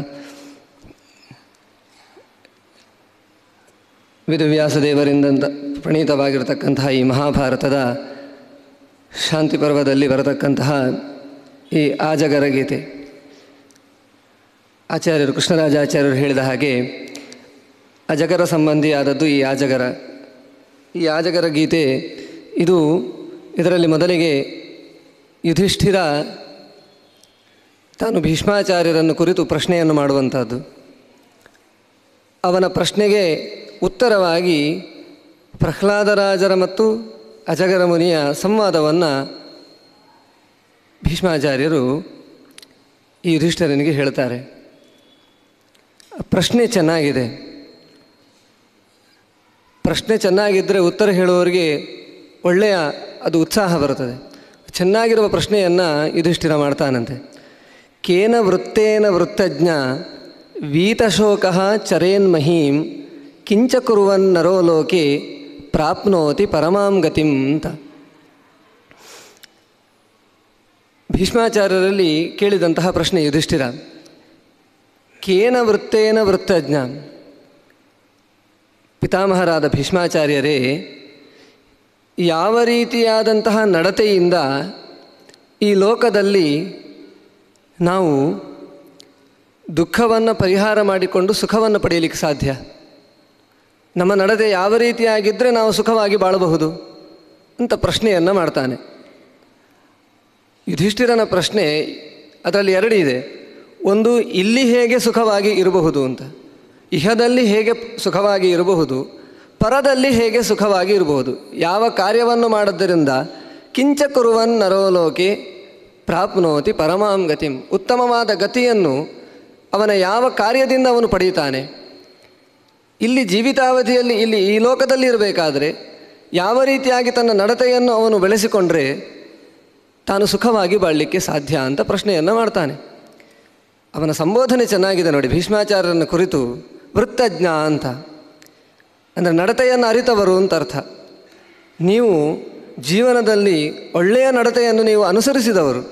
ಈಗ ನಾವು ಯಾರಲ್ಲಿ ಪ್ರಶ್ನೆ ಮಾಡಬೇಕು ಅಂದರೆ, ಯಾರು ಅನುಭವಿಗಳಿದ್ದಾರೋ ಜ್ಞಾನಿಗಳಿದ್ದಾರೋ, ನಾವು ಯಾವುದರ ಬಗ್ಗೆ ಪ್ರಶ್ನೆ ಮಾಡ್ತೇವೋ, ಆ ವಿಷಯದ ಬಗ್ಗೆ ಅನುಭವ ಇರುವವರ ಹತ್ರ ಪ್ರಶ್ನೆ ಮಾಡಿದರೆ ಚೆನ್ನಾಗಿ ನಮಗೆ ಉತ್ತರ ಸಿಗಲಿಕ್ಕೆ ಸಾಧ್ಯ. ಭೀಷ್ಮಾಚಾರ್ಯರಲ್ಲಿ ಅವನು ಸಂಬೋಧನೆ ಮಾಡಿದ್ದು ವೃತ್ತಜ್ಞ ಅಂತ. ನೀವು ಚೆನ್ನಾಗಿ ನಿಮ್ಮ ಜೀವನದಲ್ಲಿ ನಿಮ್ಮ ನಡತೆಯನ್ನು ಚೆನ್ನಾಗಿ ನೀವು ಅಳವಡಿಸಿಕೊಂಡವರು, ಭಗವಂತನ ಬಗ್ಗೆ ಚೆನ್ನಾಗಿ ಜ್ಞಾನವನ್ನು ಹೊಂದಿದವರು, ಯಾವ ರೀತಿಯಾಗಿ ನಡೆದರೆ ಜೀವನದಲ್ಲಿ ಸುಖವಾಗಿರ್ಬೋದನ್ನು ನೀವು ತಿಳಿದುಕೊಂಡವರು ಹಾಗಾಗಿ ಅವರ ಜೀವನ ಅದು ಹತ್ತು ವರ್ಷ, ಇಪ್ಪತ್ತು ವರ್ಷದ್ದಲ್ಲ. ಅವರ ವಿದ್ಯಾಭ್ಯಾಸಕ್ಕೆ ಇನ್ನೂರಕ್ಕಿಂತ ಜಾಸ್ತಿ ವರ್ಷವನ್ನು ಮೀಸಲಾಗಿಟ್ಟವರು. ಹಾಗಾಗಿ ನೀವು ಒಳ್ಳೆಯ ರೀತಿಯಲ್ಲಿ ಜೀವನವನ್ನು ನಡೆಸಿದವರು. ನಿಮ್ಮಲ್ಲಿ ನಾನು ಪ್ರಶ್ನೆ ಮಾಡ್ತಾ ಇದ್ದೇನೆ. ಯಾವ ರೀತಿಯಾಗಿ ನಾವು ನಡೆದುಕೊಂಡ್ರೆ ನಮಗೆ ಸುಖ ಪ್ರಾಪ್ತಿ ಆಗಲಿಕ್ಕೆ ಸಾಧ್ಯ ಅಂತ? ಹಾಗೆ ಅಲ್ವಾ? ನಮ್ಮ ಲೋಕದಲ್ಲಿಯೂ ಹಾಗೆ. ಯಾರು ತಿಳಿದುಕೊಂಡಂತಹ ಜ್ಞಾನಿಗಳಿರ್ತಾರೆ. ಅವರನ್ನು ನೋಡಿ, ಅವರ ನಡತೆಯನ್ನು ನೋಡಿ ನಾವು ಕೂಡ ನಮ್ಮ ನಡತೆಯನ್ನು ಸಾತ್ವಿಕರಾದರೆ ನಾವು ಸರಿಯಾಗಿ ಸರಿ ಮಾಡಿಕೊಳ್ತೇವೆ. ಯಾವತ್ತೂ ಕೂಡ ಹೇಳುವವನು, ಪ್ರಶ್ನೆ ಕೇಳಿದಾಗ ಉತ್ತರ ಹೇಳುವವನು, ತಾನು ಹೇಳುವ ವಿಷಯವನ್ನು ತಾನು ಕೂಡ ಆಚರಣೆ ಮಾಡ್ತಾ ಇರಬೇಕಾಗುತ್ತೆ. ತಾನು ಮಾಡದೆ ಇನ್ನೊಬ್ಬರಿಗೆ ಉಪದೇಶ ಮಾಡಿದ ಅಂತಾದರೆ ಅದು ಪರಿಣಾಮ ಬೀರುವುದಿಲ್ಲ. ಇದು ಕೃಷ್ಣನದ್ದೇ ಮಾತು. ಯದ್ಯದಾಚರತಿ ಶ್ರೇಷ್ಠ ತತ್ತದೇವೇತರೋ ಜನಾ. ಸಯತ್ ಪ್ರಮಾಣಂ ಕುರುತೆ ಲೋಕಃ ತದನು ವರ್ತತೆ ಅಂತ. ಯಾರು ತಾನು ಆಚರಣೆ ಮಾಡಿ ಇನ್ನೊಬ್ಬನಿಗೆ ಬೋಧನೆ ಮಾಡ್ತಾನೋ, ಅವನ ಮಾತನ್ನು ಲೋಕ ಅನುಕರಣೆ ಮಾಡ್ತದೆ ಅಂತ. ನಮ್ಮ ಮನೆಯಲ್ಲಿಯೇ ನೋಡಬಹುದು ಒಬ್ಬ ಮಗನಿಗೆ ಉಪನಯನ ಮಾಡಿದರೆ, ಅವನಿಗೆ ಜಪ ಮಾಡಬೇಕು ಅಂತ ನಾವು ಹೇಳಬೇಕಾದ್ರೆ, ನಾವು ಜಪ ಮಾಡಿ ಹೇಳಬೇಕಾಗತ್ತೆ. ನಾವು ಮಾಡದೇ ಹೇಳಿದರೆ ಅವನು ನಮ್ಮನ್ನೇ ಪ್ರಶ್ನೆ ಮಾಡುವಂತಹ ಕಾಲ ಬರುತ್ತದೆ. ಅಪ್ಪನಾದಂತಹ ನೀನು ಮಾಡುವುದಿಲ್ಲ ಅಂತ, ಆದರೆ ನಾನು ಯಾಕೆ ಮಾಡಬೇಕು ಅನ್ನೋ ಪ್ರಶ್ನೆ ಬರ್ತದೆ. ಅದು ಸಹಜವಾದ ಪ್ರಶ್ನೆ. ಅಲ್ಲ, ನೀನು ಬ್ರಾಹ್ಮಣ ಹೌದಲ್ವಾ? ನಾನು ಬ್ರಾಹ್ಮಣ ಹೌದು. ನಾನು ಮಾಡಬೇಕಾದ್ರೆ ನೀನು ಮಾಡಲೇಬೇಕು. ನೀನು ಮಾಡದೇ ಇದ್ದರೆ ನಾನು ಯಾಕೆ ಮಾಡಬೇಕು ಅಂತ ಪ್ರಶ್ನೆ ಬರ್ತದೆ. ಹಾಗೆ ಅದೇ ಚಿಕ್ಕ ವಯಸ್ಸಿನ ಆ ಮಕ್ಕಳು ಬೆಳೀತಾ ಇರಬೇಕಾದ್ರೆ ಅವನಿಗೆ ಮುಂಜಿ ಉಪನಯನ ಆಗುವ ಮುಂಚೆನೇ ತಂದೆ ನಿತ್ಯ ಬೆಳಿಗ್ಗೆ, ಸಂಜೆ ಜಪ ಮಾಡ್ತಾ ಇದ್ದರೆ ಆ ಮಗು ನೋಡ್ತಾ ಇರ್ತದೆ ನಾನು ಉಪನಯನ ಆದ ಮೇಲೆ ಹೀಗೆ ಜಪ ಮಾಡಬೇಕು ಅನ್ನೋದು ಅದು ಮನಸ್ಸಿನಲ್ಲಿ ಗಟ್ಟಿಯಾಗಿ ಕೂತ್ಕೊಳ್ತದೆ ಅದಕ್ಕೆ. ಹಾಗಾಗಿ ಅವನಿಗೆ, ಅವನೇ ಕೇಳ್ತಾನೆ, ಅಪ್ಪ, ನನಗೆ ಯಾವಾಗ ಉಪನಯನ ಮಾಡ್ತಿ? ನಾನು ಯಾವಾಗ ಹೀಗೆ ಜಪ ಮಾಡೋದು? ಅಥವಾ, ಅಪ್ಪ, ಜಪ ಮಾಡ್ತಾ ಇದ್ದಾಗಲೇ ಬಂದು ಅವನ ಆ ಪಾತ್ರೆಯನ್ನು ಎಳಿಲಿಕ್ಕೆ ಪ್ರಾರಂಭ ಮಾಡ್ತದೆ. ನಾನು ಜಪ ಮಾಡ್ತೇನೆ, ನನಗೂ ಒಂದು ಬೇಕು ಅಂತ. ಇದು ಮಕ್ಕಳಲ್ಲಿ ಸಹಜವಾಗಿ ಬರ್ತದೆ. ಯಾವಾಗ? ಯಾವಾಗ ದೊಡ್ಡವರಾದಂತಹ ನಾವು ಅದನ್ನು ಅನುಕರಣೆ ಮಾಡ್ತೇವೋ, ನಮ್ಮ ಉಪದೇಶ, ಅದು ಪರರಿಗೆ ಮಾಡುವಂತಹ ಉಪದೇಶ ಬರೀ ಮುಖತಃ ಮಾತ್ರ ಇಲ್ಲದೆ ನಮ್ಮ ಕೃತಿಯಲ್ಲೂ ಇದ್ದಾಗ ಅದು ತುಂಬ ಪರಿಣಾಮ ಬೀರುತ್ತದೆ ಎನ್ನುವಂಥದ್ದು, ಅದು ಅನುಭವ ಸಿದ್ಧವಾದ ಮಾತು, ಅದು ಎಲ್ಲರಿಗೂ ಅನುಭವ ಸಿದ್ಧವಾಗಿರ್ತಕ್ಕಂತಹ ಮಾತು. ಹಾಗಾಗಿ ಅಂತಹ ಭೀಷ್ಮಾಚಾರ್ಯರಲ್ಲಿ ಪ್ರಶ್ನೆ ಮಾಡಿದ.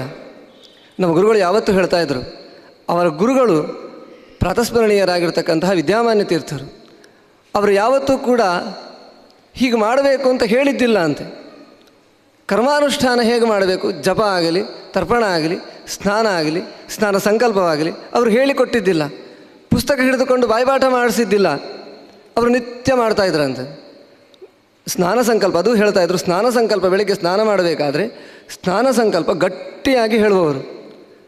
ಉಳಿದವರೆಲ್ಲ ಅವರು ಹೇಳಿದ್ದನ್ನು ಕೇಳಿ ಕೇಳಿ, ಕೇಳಿಯೇ ಕಲಿತವರಂತೆ ಹೊರತು ಪುಸ್ತಕ ಹಿಡಿದು ಕಲಿತವರಲ್ಲ. ಅಂದರೆ ಅಷ್ಟು ಸ್ಪಷ್ಟವಾದಂತಹ ಮಂತ್ರೋಚ್ಚಾರಣೆ. ಮತ್ತು ತಾನು ಮಾಡ್ತಾ ಇದ್ರು. ಮಾಡುವುದನ್ನು ನೋಡಿ ಶಿಷ್ಯರಿಗೂ ಕೂಡ ನಾವು ಹೀಗೇ ಮಾಡಬೇಕು. ಅದು ಪರಂಪರೆಯಿಂದ ಮತ್ತು ಅದೇ ಆಚಾರ ನಮ್ಮಲ್ಲಿ ಹರಿದು ಬರ್ತದೆ.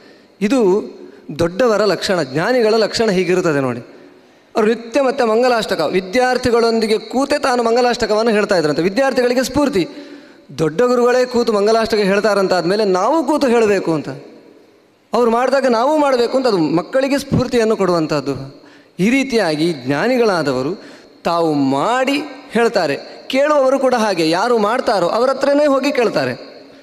ಅವರು ಚೆನ್ನಾಗಿ ಹೇಳ್ತಾರೆ, ಹಾಗೆ ತಾವೂ ಮಾಡ್ತಾರೆ.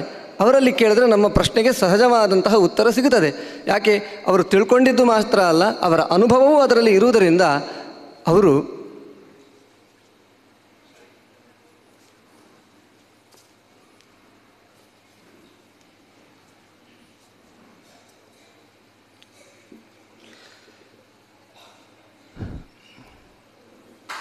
ಜ್ಞಾನಿಗಳ ಅನುಭವ ಅದರಲ್ಲಿ ಅಡಕವಾಗಿರುವುದರಿಂದ ಅವರ ಮಾತು ಅದು ನಾವು ಪಾಲಿಸಬೇಕು ಎನ್ನುವುದು ನಮ್ಮ, ನಮಗೆ ಅದು ತುಂಬ ಮನದಟ್ಟಾಗುತ್ತದೆ. ಹಾಗಾಗಿ ಅಂತಹ ಭೀಷ್ಮಾಚಾರ್ಯರಲ್ಲಿ ಯುಧಿಷ್ಠಿರ ಪ್ರಶ್ನೆ ಮಾಡ್ತಾ ಇದ್ದಾನೆ. ಭೀಷ್ಮಾಚಾರ್ಯರ ಒಂದು ದೊಡ್ಡ ಒಂದು ಸಾಧನೆ ಏನು ಅಂತ ಕೇಳಿದರೆ, ಕೊನೆಯ ಕಾಲದಲ್ಲಿ ಅವರು ಭಗವಂತನ ಮುಂದೆ ಕೂತು ತಾನು ಯುಧಿಷ್ಠಿರನಿಗೆ ಧರ್ಮೋಪದೇಶವನ್ನು ಮಾಡ್ತಾ ಇದ್ದಾರೆ.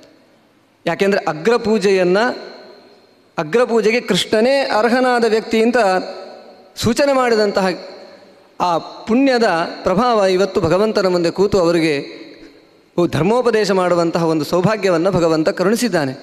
ಹಾಗಾಗಿ ಯುಧಿಷ್ಠಿರ ಪ್ರಶ್ನೆ ಮಾಡಿದ, ಈ ಲೋಕದಲ್ಲಿ ಸುಖವಾಗಿರಬೇಕಾದರೆ ಯಾವ ರೀತಿಯಾಗಿ ನಮ್ಮ ನಡತೆ ಇರಬೇಕು? ಪರಲೋಕದಲ್ಲಿ ನಾವು ಉತ್ತಮವಾದಂತಹ ಗತಿಯನ್ನು ಪಡೆಯಬೇಕಾದರೆ ನಾವು ಯಾವ ರೀತಿಯಾಗಿ ಯಾವ ಕಾರ್ಯವನ್ನು ನಾವು ಮಾಡಬೇಕು ಎಂಬುದಾಗಿ ಪ್ರಶ್ನೆಯನ್ನು ಮಾಡಿದಾಗ ಭೀಷ್ಮಾಚಾರ್ಯರು ಹೇಳ್ತಾರೆ, ಅತ್ರಾಪಿ ಉದಾಹರಂತಿ ಇಮಂ ಇತಿಹಾಸಂ ಪುರಾತನಂ ಪ್ರಹ್ಲಾದಸ್ಯ ಚ ಸಂವಾದಂ ಮುನೇಹೇ ಅಜಗರಸ್ಯ ಚ. ನೋಡು ಯುಧಿಷ್ಠಿರ, ನಿನ್ನ ಪ್ರಶ್ನೆ ತುಂಬ ಚೆನ್ನಾಗಿದೆ.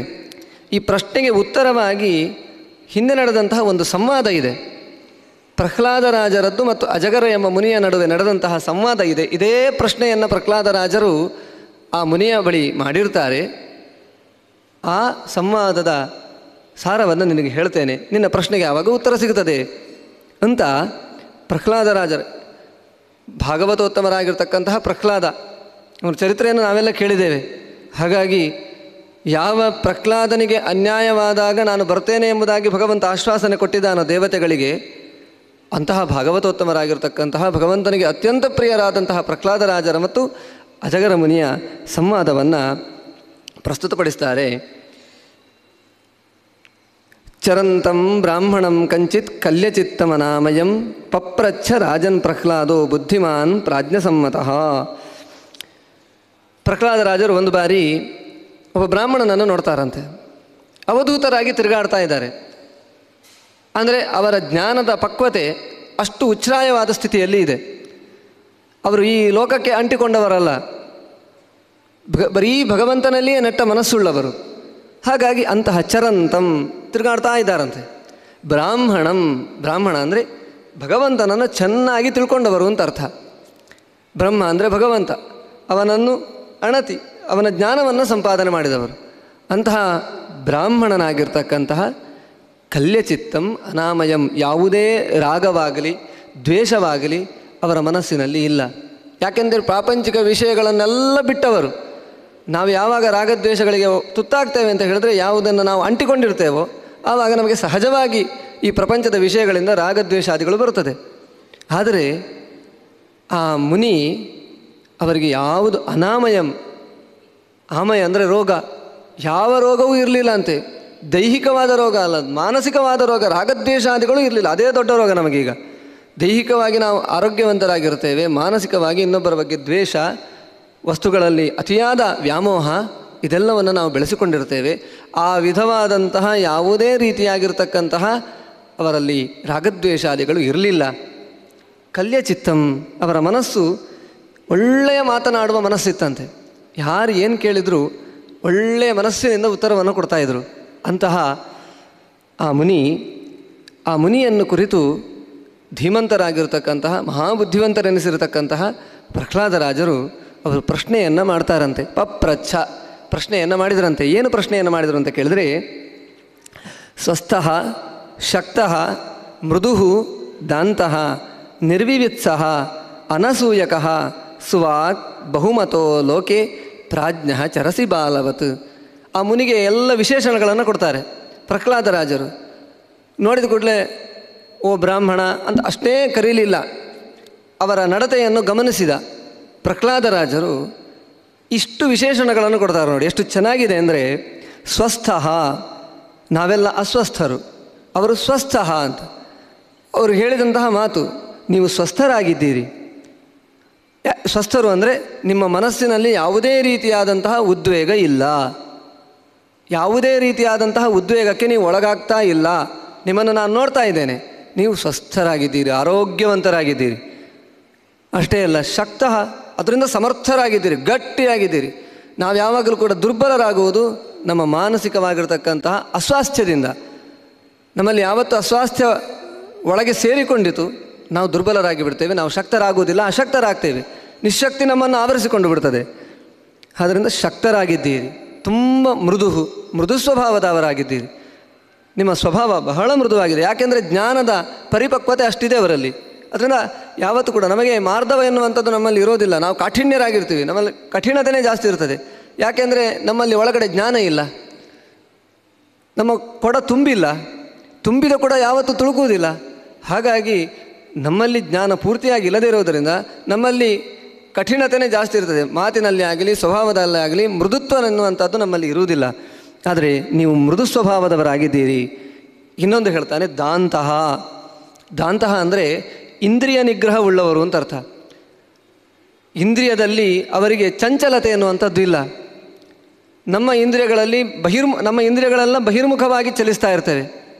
ಅಂದರೆ ಯಾವುದೋ ಒಂದು ವಿಷಯ, ಅದು ಐದು ಇಂದ್ರಿಯಗಳಲ್ಲಿ ಆ ಒಂದು ಕಣ್ಣು ಯಾವುದೋ ಒಂದು ನೋಡಬೇಕು ಅನ್ನಿಸ್ತದೆ. ನೋಡಬೇಕು ಅನ್ನಿಸು ಕೂಡ ಅಲ್ಲಿಗೆ ಹೋಗಲೇಬೇಕು. ಅಷ್ಟು ಚಂಚಲತೆ ನಮ್ಮಲ್ಲಿರ್ತದೆ ಮನಸ್ಸು ಮನಸ್ಸು ಕೂಡ ಹಾಗೆ. ಇನ್ನೊಂದು ಕಡೆ ಹೋಗಿ ಆಯಿತು. ಕೈ ಇರ್ಬೋದು, ಕಾಲು ಇರ್ಬೋದು. ನಮ್ಮ ಇಂದ್ರಿಯಗಳಲ್ಲಿ ನಿಗ್ರಹ ಇರುವಂಥದ್ದು ಕಮ್ಮಿ. ಆದರೆ ಅವರು ದಾಂತಹ. ಇಂದ್ರಿಯವನ್ನು ನಿಗ್ರಹ ಮಾಡಿಕೊಂಡವರು. ಹಾಗಂತ ಇಂದ್ರಿಯಗಳಿಂದ ಯಾವುದೇ ಕೆಲಸವನ್ನು ಮಾಡುವುದಿಲ್ಲ ಅಂತ ಅರ್ಥ ಅಲ್ಲ. ದೇವರ ಬಗ್ಗೆ ಎಲ್ಲ ಕೆಲಸವನ್ನು ಮಾಡ್ತಾರೆ. ಇನ್ನು ಇಂದ್ರಿಯ ನಿಗ್ರಹ ಅಂದರೆ ದೇವರ ಬಗ್ಗೆನೂ ಕೇಳೋದಿಲ್ಲ. ಕೆಟ್ಟದನ್ನಂತೂ ಕೇಳುವುದಿಲ್ಲ. ದೇವರ ಬಗ್ಗೆನೂ ಕೇಳುವುದಿಲ್ಲ, ದೇವರನ್ನೂ ನೋಡೋದಿಲ್ಲ. ಹಾಗಲ್ಲ. ಎಲ್ಲ ಪ್ರಾಪಂಚಿಕವಾಗಿರ್ತಕ್ಕಂಥ ವಿಷಯಗಳಿಂದ ಆ ಇಂದ್ರಿಯಗಳನ್ನೆಲ್ಲ ತಮ್ಮ ಹತೋಟಿಯಲ್ಲಿ ಇಟ್ಟುಕೊಂಡು ಬರೀ ಭಗವದ್ಭಿಷೇಕವಾದ ಪದಾರ್ಥಗಳಲ್ಲಿ ಮಾತ್ರ ತಮ್ಮ ಇಂದ್ರಿಯಗಳನ್ನು ತೊಡಗಿಸಿಕೊಂಡವರು ಅಂತ ಅರ್ಥ. ಅವರು ದಾಂತಹ, ದಮ ಎನ್ನುವಂತಹ ಗುಣವುಳ್ಳವರು. ದಮ ಶಬ್ದಕ್ಕೆ ಇಂದ್ರಿಯ ನಿಗ್ರಹ ಅಂತ ಅರ್ಥ. ಹಾಗಾಗಿ ಅದು ಮುಖ್ಯವಾಗಿ ಬೇಕಾಗಿರುವಂಥದ್ದು ಕೃಷ್ಣ ಗೀತೆಯಲ್ಲಿ ಹೇಳ್ತಾನೆ ಒಂದು ಒಬ್ಬ ಬ್ರಾಹ್ಮಣ, ಅಂದರೆ ದೇವರನ್ನು ತಿಳ್ಕೊಂಡವ ಜ್ಞಾನಿಯಾದವನಲ್ಲಿ ಅವನ ಸ್ವಭಾವ ಹೇಗಿರ್ತದೆ, ಅವನಲ್ಲಿ ಯಾವ ಗುಣಗಳಿರ್ತದೆ ಅಂದರೆ ಶಮಃ, ದಮಃ, ತಪಃ, ಶೌಚಂ, ಕ್ಷಾಂತಿರಾರ್ಜವಮೇವಚ, ಜ್ಞಾನಂ, ವಿಜ್ಞಾನಂ, ಆಸ್ತಿಕ್ಯಂ, ಬ್ರಹ್ಮಕರ್ಮ ಸ್ವಭಾವಜಂ ಅಂತ. ಬ್ರಹ್ಮಕರ್ಮ ಸ್ವಭಾವಜ ಅಂದರೆ ಭಗವಂತನನ್ನು ತಿಳಿದುಕೊಂಡವನ ಸ್ವಭಾವ ಹೇಗಿರ್ತದೆ ಅಂತ ಕೇಳಿದ್ರೆ ಅವನು ಶಾಂತನಾಗಿರ್ತಾನೆ. ಶಮಃ, ಶಮ ಅಂದರೆ ಯಾವತ್ತೂ ಕೂಡ ಭಗವದ್ವಿಷಯಕವಾದ ಆಲೋಚನೆಯನ್ನು ಮಾಡ್ತಾ ಇರ್ತಾನೆ. ಆಮೇಲೆ ಇಂದ್ರಿಯ ನಿಗ್ರಹವುಳ್ಳವನಾಗಿರ್ತಾನೆ ತಪಸ್ಸು ದೇವರ ಬಗ್ಗೆ, ಧರ್ಮದ ಬಗ್ಗೆ, ಇದರ ಬಗ್ಗೆ ಆಲೋಚನೆ. ಶೌಚಂ ಒಳಗಿನಿಂದ ಹೊರಗಿನಿಂದ ಎರಡರಿಂದಲೂ ಕೂಡ ಶುದ್ಧವಾಗಿರ್ತಾನಂತೆ. ಬರೀ ಬಾಹ್ಯ ಶುದ್ಧಿ ಮಾತ್ರ ಅಲ್ಲ, ಅವನಲ್ಲಿ ಆಂತರಿಕ ಶುದ್ಧಿಯೂ ಇರ್ತದೆ ನಾವಾದರೆ ಬಾಹ್ಯದಿಂದ ನಾವು ಶುದ್ಧರಾಗಿರ್ತೀವಿ, ಆದರೆ ಮನಸ್ಸು ತುಂಬ ಕಲುಷಿತಗೊಂಡಿರ್ತದೆ ನಮ್ಮ ಮನಸ್ಸು ಎಷ್ಟು ಶುದ್ಧ ಆಗಿರ್ತದೆ ಅನ್ನುವಂಥದ್ದು ನಮಗೆ ಗೊತ್ತು. ಹಾಗಾಗಿ ಜ್ಞಾನಿಗಳಾದವರಲ್ಲಿ ಅವರ ಸ್ವಭಾವ ಹೇಗಿರ್ತದೆ ಅಂತ ಕೇಳಿದ್ರೆ ಅವರ ಮನಸ್ಸೂ ಶುದ್ಧವಾಗಿರುತ್ತದೆ, ಅವರ ದೇಹವೂ ಶುದ್ಧವಾಗಿರುತ್ತದೆ ಅಂತ. ಆಮೇಲೆ ದಮಶೌಚಂ ಶೌಚಂ ಕ್ಷಾಂತಿ ಕ್ಷಮಾಗುಣ ಸಹನೆ ಎನ್ನುವಂಥದ್ದು ಅವರಲ್ಲಿ ತುಂಬಿ ತುಳುಕ್ತಾ ಇರ್ತದಂತೆ. ಸಹನೆ ಎನ್ನುವಂಥದ್ದು ಬಹಳ ಮುಖ್ಯವಾಗಿರುತ್ತೆ ತಾಳ್ಮೆ ಎನ್ನುವಂಥದ್ದು ಬಹಳ ಮುಖ್ಯವಾಗಿರತಕ್ಕಂತಹ ಗುಣ. ನಮ್ಮಲ್ಲಿ ತಾಳ್ಮೆ ಎನ್ನುವಂಥದ್ದು ಬಹಳ ಕಮ್ಮಿ. ಹಾಗಾಗಿ ಜ್ಞಾನಿಗಳಾದವರು ಯಾವತ್ತಿಗೂ ಕೂಡ ತಾಳ್ಮೆಯನ್ನು ಕಳೆದುಕೊಳ್ಳುವುದಿಲ್ಲ. ಕ್ಷಾಂತಿ ಆರ್ಜವ, ಮತ್ತು ನೇರವಾಗಿರ್ತಾರೆ ರುಜುತ್ವ. ಅವರ ನಡೆ, ನುಡಿ ಎರಡು ನೇರ. ಅವರು ಹೇಗೆ ಹೇಳ್ತಾರೋ ಹಾಗೆ ನಡೀತಾರೆ. ಹೇಳುವುದು ಒಂದು, ಮಾಡುವುದು ಒಂದು ಇಲ್ಲ. ಒಳಗಿನಿಂದ ಒಂದು, ಹೊರಗಿನಿಂದ ಒಂದು ಯಾವತ್ತೂ ಇರೋದಿಲ್ಲ ಹಾಗಾಗಿ ಆರ್ಜವ, ಇನ್ನು ಜ್ಞಾನ, ವಿಶೇಷವಾದ ಜ್ಞಾನ ಭಗವದ್ವಿಷಯಕವಾಗಿರ್ತಕ್ಕಂತಹ ಜ್ಞಾನ, ಇನ್ನೊಂದು ಆಸ್ತಿಕ್ಯ ಬುದ್ಧಿ. ಅಸ್ತಿ, ದೇವರು ಇದ್ದಾನೆ, ಕಣ್ಣಿಗೆ ಕಾಣದ ವಸ್ತುಗಳೆಲ್ಲವೂ ಕೂಡ ಇದೆ ಅಂತ ಆ ಬುದ್ಧಿಯನ್ನು ಬೆಳೆಸಿಕೊಂಡವರು. ಆಸ್ತಿಕರು ಅಂದರೆ ಹಾಗೆ ಅಲ್ವಾ? ಹಾಗಾಗಿ ಆಸ್ತಿಕರು ಅಂದರೆ ದೇವರು ಇದ್ದಾನೆ, ಕಣ್ಣಿಗೆ ಕಾಣುವುದಿಲ್ಲ. ಧರ್ಮ ಇದೆ, ಅದು ಕಣ್ಣಿಗೆ ಕಾಣೋದಿಲ್ಲ ಅಧರ್ಮ, ಪಾಪ, ಪುಣ್ಯ, ಸ್ವರ್ಗ, ನರಕ, ಅದೃಷ್ಟವಾದ ಅಂದರೆ ಕಣ್ಣಿಗೆ ಕಾಣದ ಪದಾರ್ಥಗಳನ್ನು ಇದೆ ಅಂತ ಯಾರು ನಂಬುತ್ತಾರೋ ಅವರು ಆಸ್ತಿಕರು ಅಂತ ಅರ್ಥ. ಅದು ಇಲ್ಲ ಅಂತ ಹೇಳುವವರು ನಾಸ್ತಿಕರು ಅಂತ ಅರ್ಥ ಅಷ್ಟೇ. ಹಾಗಾಗಿ ಈ ಆಸ್ತಿಕ್ಯ ಬುದ್ಧಿ ಇಷ್ಟೆಲ್ಲ ಅದು ಜ್ಞಾನಿಯಾದವನ ಲಕ್ಷಣ ಆಗಿರುತ್ತದೆ. ಇದು ಕೃಷ್ಣ ಹೇಳಿರುವಂಥದ್ದು ಆ ಲಕ್ಷಣ ಅದರಲ್ಲಿ ಹೇಳಿರುವಂಥ ಒಂದು ಲಕ್ಷಣ ದಮ, ಅಂದರೆ ಇಂದ್ರಿಯವನ್ನು ನಿಗ್ರಹ ಮಾಡಿಕೊಂಡಿದ್ದ ಈ ಮುನಿ, ಅಜಗರ ಎನ್ನುವಂತಹ ಮುನಿ. ಇಂದ್ರಿಯ ನಿಗ್ರಹವುಳ್ಳವರು. ಅಂದರೆ ಹೊರಗಿನ ವಿಷಯಗಳಿಂದ ನಿಮ್ಮ ಇಂದ್ರಿಯವನ್ನು ನಿಮ್ಮ ಹತೋಟಿಯಲ್ಲಿ ನೀವು ಇಟ್ಟುಕೊಂಡಿದ್ದೀರಿ. ಅಷ್ಟೇ ಅಲ್ಲ, ನಿರ್ವಿವತ್ಸಹ. ನಿಮ್ಮಲ್ಲಿ ಯಾವುದೇ ರೀತಿಯಾಗಿರ್ತಕ್ಕಂಥ ಆಸೆ ಇಲ್ಲ. ಯಾವುದೇ ರೀತಿಯಾಗಿರ್ತಕ್ಕಂಥ ಆಸೆಯನ್ನು ನೀವು ಇಟ್ಟುಕೊಂಡವರಲ್ಲ. ಹಾಗೆ ಅಲ್ವಾ? ಇಂದ್ರಿಯ ನಿಗ್ರಹ ಇಲ್ಲದಿದ್ದರೆ ಆಸೆ ಹುಟ್ಟಿಕೊಳ್ಳುತ್ತದೆ. ಅದು ಬೇಕು, ಇದು ಬೇಕು ಅಂತ ನಮ್ಮ ಇಂದ್ರಿಯ ನಿಗ್ರಹನೇ ಇಲ್ಲ ಅಂತಾದರೆ ನೋಡಿದ್ದನ್ನು ನಾವು ಬಯಸ್ತೇವೆ. ಇವರಿಗೆ ಇಂದ್ರಿಯ ನಿಗ್ರಹ ಚೆನ್ನಾಗಿದೆ ಅಂದಮೇಲೆ ಪ್ರಾಪಂಚಿಕ ವಿಷಯಗಳಲ್ಲಿ ಯಾವುದೇ ಆಸೆ ಇಲ್ಲ. ಭಗವದ್ವಿಷಯಕವಾದ ಆಸೆ ಮಾತ್ರ ಅವರಲ್ಲಿ ಇರತಕ್ಕಂಥದ್ದು. ದೇವರನ್ನು ನೋಡಬೇಕು, ದೇವರ ಜ್ಞಾನ ಬೇಕು, ಇಷ್ಟೇ ಆಸೆಯನ್ನು ಹೊಂದಿದವರು ನಿರ್ವಿವಿತ್ಸರಾಗಿದ್ದೀರಿ. ಅನಸೂಯಕಃ, ಇನ್ನೊಬ್ಬರನ್ನು ಯಾವತ್ತಿಗೂ ಕೂಡ ನೀವು ದ್ವೇಷಿಸಿದವರಲ್ಲ. ಇತರರ ಬಗ್ಗೆ ಹೊಟ್ಟೆ ಕಿಚ್ಚು ನಿಮ್ಮಲ್ಲಿ ಇಲ್ಲವೇ ಇಲ್ಲ. ಹಾಗಾಗಿ ಅಂತಹ ನೀವು ಗುಣಗಳನ್ನು ಬೆಳೆಸಿಕೊಂಡು ಸುವಾ ಒಳ್ಳೆಯ ಮಾತನ್ನಾಡುವವರಾಗಿದ್ದೀರಿ ಅಂತ ಹೇಳ್ತಾನೆ ಪ್ರಹ್ಲಾದರು. ನೋಡಿ, ಇನ್ನೊಬ್ಬರಲ್ಲಿ ಹೊಟ್ಟೆ ಕಿಚ್ಚಿದ್ರೆ ಮಾತ್ರ ನಮ್ಮಲ್ಲಿ ಒಳ್ಳೆಯ ಮಾತು ಬರುವುದಿಲ್ಲ. ಅವನನ್ನು ತುಚ್ಛವಾಗಿ ನೋಡ್ತೇವೆ, ಅವನ ಬಗ್ಗೆ ಕೆಟ್ಟದನ್ನಾಗಿ ಮಾತಾಡ್ತೇವೆ. ಯಾರ ಬಗ್ಗೆನೂ ದ್ವೇಷನೇ ಇಲ್ಲ ಅಂತ ಆದರೆ ಎಲ್ಲರೂ ಒಳ್ಳೆಯವರ ಥರನೇ ಅವನಿಗೆ ಕಾಣ್ತಾರಂತಾದರೆ, ಎಲ್ಲರ ಹತ್ರನೂ ಒಳ್ಳೆಯ ರೀತಿಯಿಂದಲೇ ಮಾತಾಡ್ತಾನೆ. ಮಾತು ಎನ್ನುವಂಥದ್ದು ತುಂಬ ಮುಖ್ಯವಾಗಿರ್ತಕ್ಕಂಥದ್ದು. ನೀವು ಮನೆಗೆ ಬಂದವರಲ್ಲಿ ಅವರಿಗೆ ನೀವು ಬೇರೆ ಏನು ಕೊಡ್ತೀರೋ ಬಿಡ್ತೀರೋ, ಅದು ಎರಡನೇ ಪ್ರಶ್ನೆ. ಒಳ್ಳೆಯ ಎರಡು ಮಾತನಾಡಿ, ಎಲ್ಲಿ ಸಿಕ್ಕಿದಾಗಲೂ ಮಾತನಾಡಿ, ಅವ್ರಿಗೆ ತುಂಬ ಖುಷಿ ಆಗ್ತದೆ. ನನ್ನನ್ನು ಮಾತಾಡಿಸಿದ್ರು, ಚೆನ್ನಾಗಿ ಅವರೆಷ್ಟು ಚೆನ್ನಾಗಿ ಮಾತಾಡ್ತಾರೆ ಅಂತ ನಾವು ಹೇಳ್ತೇವೆ. ಉಪಚಾರ ಮಾಡ್ತಾರೆ ಅಂತ ಹೇಳೋದಕ್ಕಿಂತ ಮೊದಲು ಎಲ್ಲಿ ಸಿಕ್ಕಿದ್ರೂ ಮಾತಾಡ್ತಾರೆ. ಒಳ್ಳೆಯ ಮಾತು, ನಗನಗತಾ ಮಾತಾಡ್ತಾರೆ ಅಂತ ನಾವು ಎಷ್ಟು ಸಂತೋಷದಿಂದ ಆ ಮಾತು ಮನಸ್ಸಿಗೆ ಅಷ್ಟು ತೃಪ್ತಿಯನ್ನು ಕೊಡುವಂಥದ್ದು. ಹಾಗಾಗಿ ಅಂತಹ ಮಾತು ಸುವಾಕ್, ಒಬ್ಬ ಸುಭಾಷಿತಕಾರ ಹೇಳಿದ್ದಿದೆ ಪ್ರಿಯವಾಕ್ಯ ಪ್ರಧಾನೇನ ಸರ್ವೇ ತುಷ್ಯಂತಿ ಜಂತವ ಅಂತ. ಒಳ್ಳೆಯ ಮಾತನ್ನಾಡಿದರೆ ಎಲ್ಲ ಪ್ರಾಣಿಗಳಿಗೂ ಖುಷಿ ಆಗುತ್ತೆ. ತಸ್ಮಾತ್ ತದೇವ ವಕ್ತವ್ಯಂ ವಚನೇ ಕಾದರಿದ್ರತ. ಅದರಿಂದ ಅದನ್ನೇ ಮಾತನಾಡು. ಯಾಕೆ ಕೆಟ್ಟದ್ದನ್ನು ಮಾತಾಡ್ತಿ? ನಿಮ್ಮ, ನಿನ್ನ ಮಾತಿಗೆ ಏನಾದರೂ ದಾರಿದ್ರ್ಯ ಇದೆಯೋ? ದೇವರು ಕೊಟ್ಟಿರುವ ನಾಲಿಗೆ ಇದೆ. ನಾಲಿಗೆಯಲ್ಲಿ ಶಬ್ದಗಳು ಬೇಕಾದಾಗೆ ಹೊರಳಾಡ್ತಾವೆ. ಏನು ಅನಾಯಾಸದಿಂದ ನಾವು ಮಾತಾಡ್ತೇವೆ? ಕಷ್ಟಪಟ್ಟು ಏನು ಶಬ್ದಗಳನ್ನು ಹುಡುಕಿ ಡಿಕ್ಷನರಿ ನೋಡಿ ನಾವು ಮಾತಾಡಬೇಕು ಅಂತಿಲ್ಲ ನಮ್ಮ ಮಾತು, ನಾಲಿಗೆಯಲ್ಲಿ ಮಾತುಗಳು ಚೆನ್ನಾಗೇ ಹೊರಳಾಡ್ತವೆ. ಅದರಿಂದ ಒಳ್ಳೆಯ ಮಾತನ್ನಾಡು. ಯಾಕೆ ಇನ್ನೊಬ್ಬರ ಮನಸ್ಸಿಗೆ ನೋವಾಗುವಂತೆ ನೀನು ಮಾತಾಡ್ತಿ? ಜ್ಞಾನಿಗಳಾದವರು ಹಾಗಿರ್ತಾರಂತೆ ನೋಡಿ. ಯಾವತ್ತೂ ಇನ್ನೊಬ್ಬರ ಮನಸ್ಸಿಗೆ ನೋವು ಮಾಡುವುದಿಲ್ಲ. ಸುವಾಕ್ ಒಳ್ಳೆಯ ಮಾತುಳ್ಳವರಾಗಿರ್ತಾರೆ. ಅಜಗರ ಮುನಿಯನ್ನು ಕುರಿತು ಪ್ರಹ್ಲಾದರು ಹೇಳಿದ ಮಾತು, ನೀವು ಸುವಾಕ್ ಒಳ್ಳೆಯ ಮಾತು ಉಳ್ಳವರಾಗಿದ್ದೀರಿ ಬಹುಮತೋ ಲೋಕಿ ಪ್ರಾಜ್ಞಶ್ಚರಸಿ ಬಾಲವತು ಬಹುಮತಃ. ಆದ್ದರಿಂದ ನಿಮ್ಮನ್ನು ಎಲ್ಲರೂ ಎಲ್ಲರೂ ನಿಮ್ಮನ್ನು ಗೌರವಿಸ್ತಾರೆ. ಅಲ್ವಾ, ನಾವು ಗೌರವವನ್ನು ಪಡಿಬೇಕಾದರೆ ಇಷ್ಟು ಗುಣಗಳು ನಮ್ಮಲ್ಲಿ ಬೆಳೆಸಿಕೊಂಡಿದ್ದರೆ ನಾವು ಗುಣವಂತರಾಗಿದ್ದರೆ ಲೋಕ ಸಹಜವಾಗಿಯೇ ನಮ್ಮನ್ನು ಗೌರವಿಸ್ತದೆ.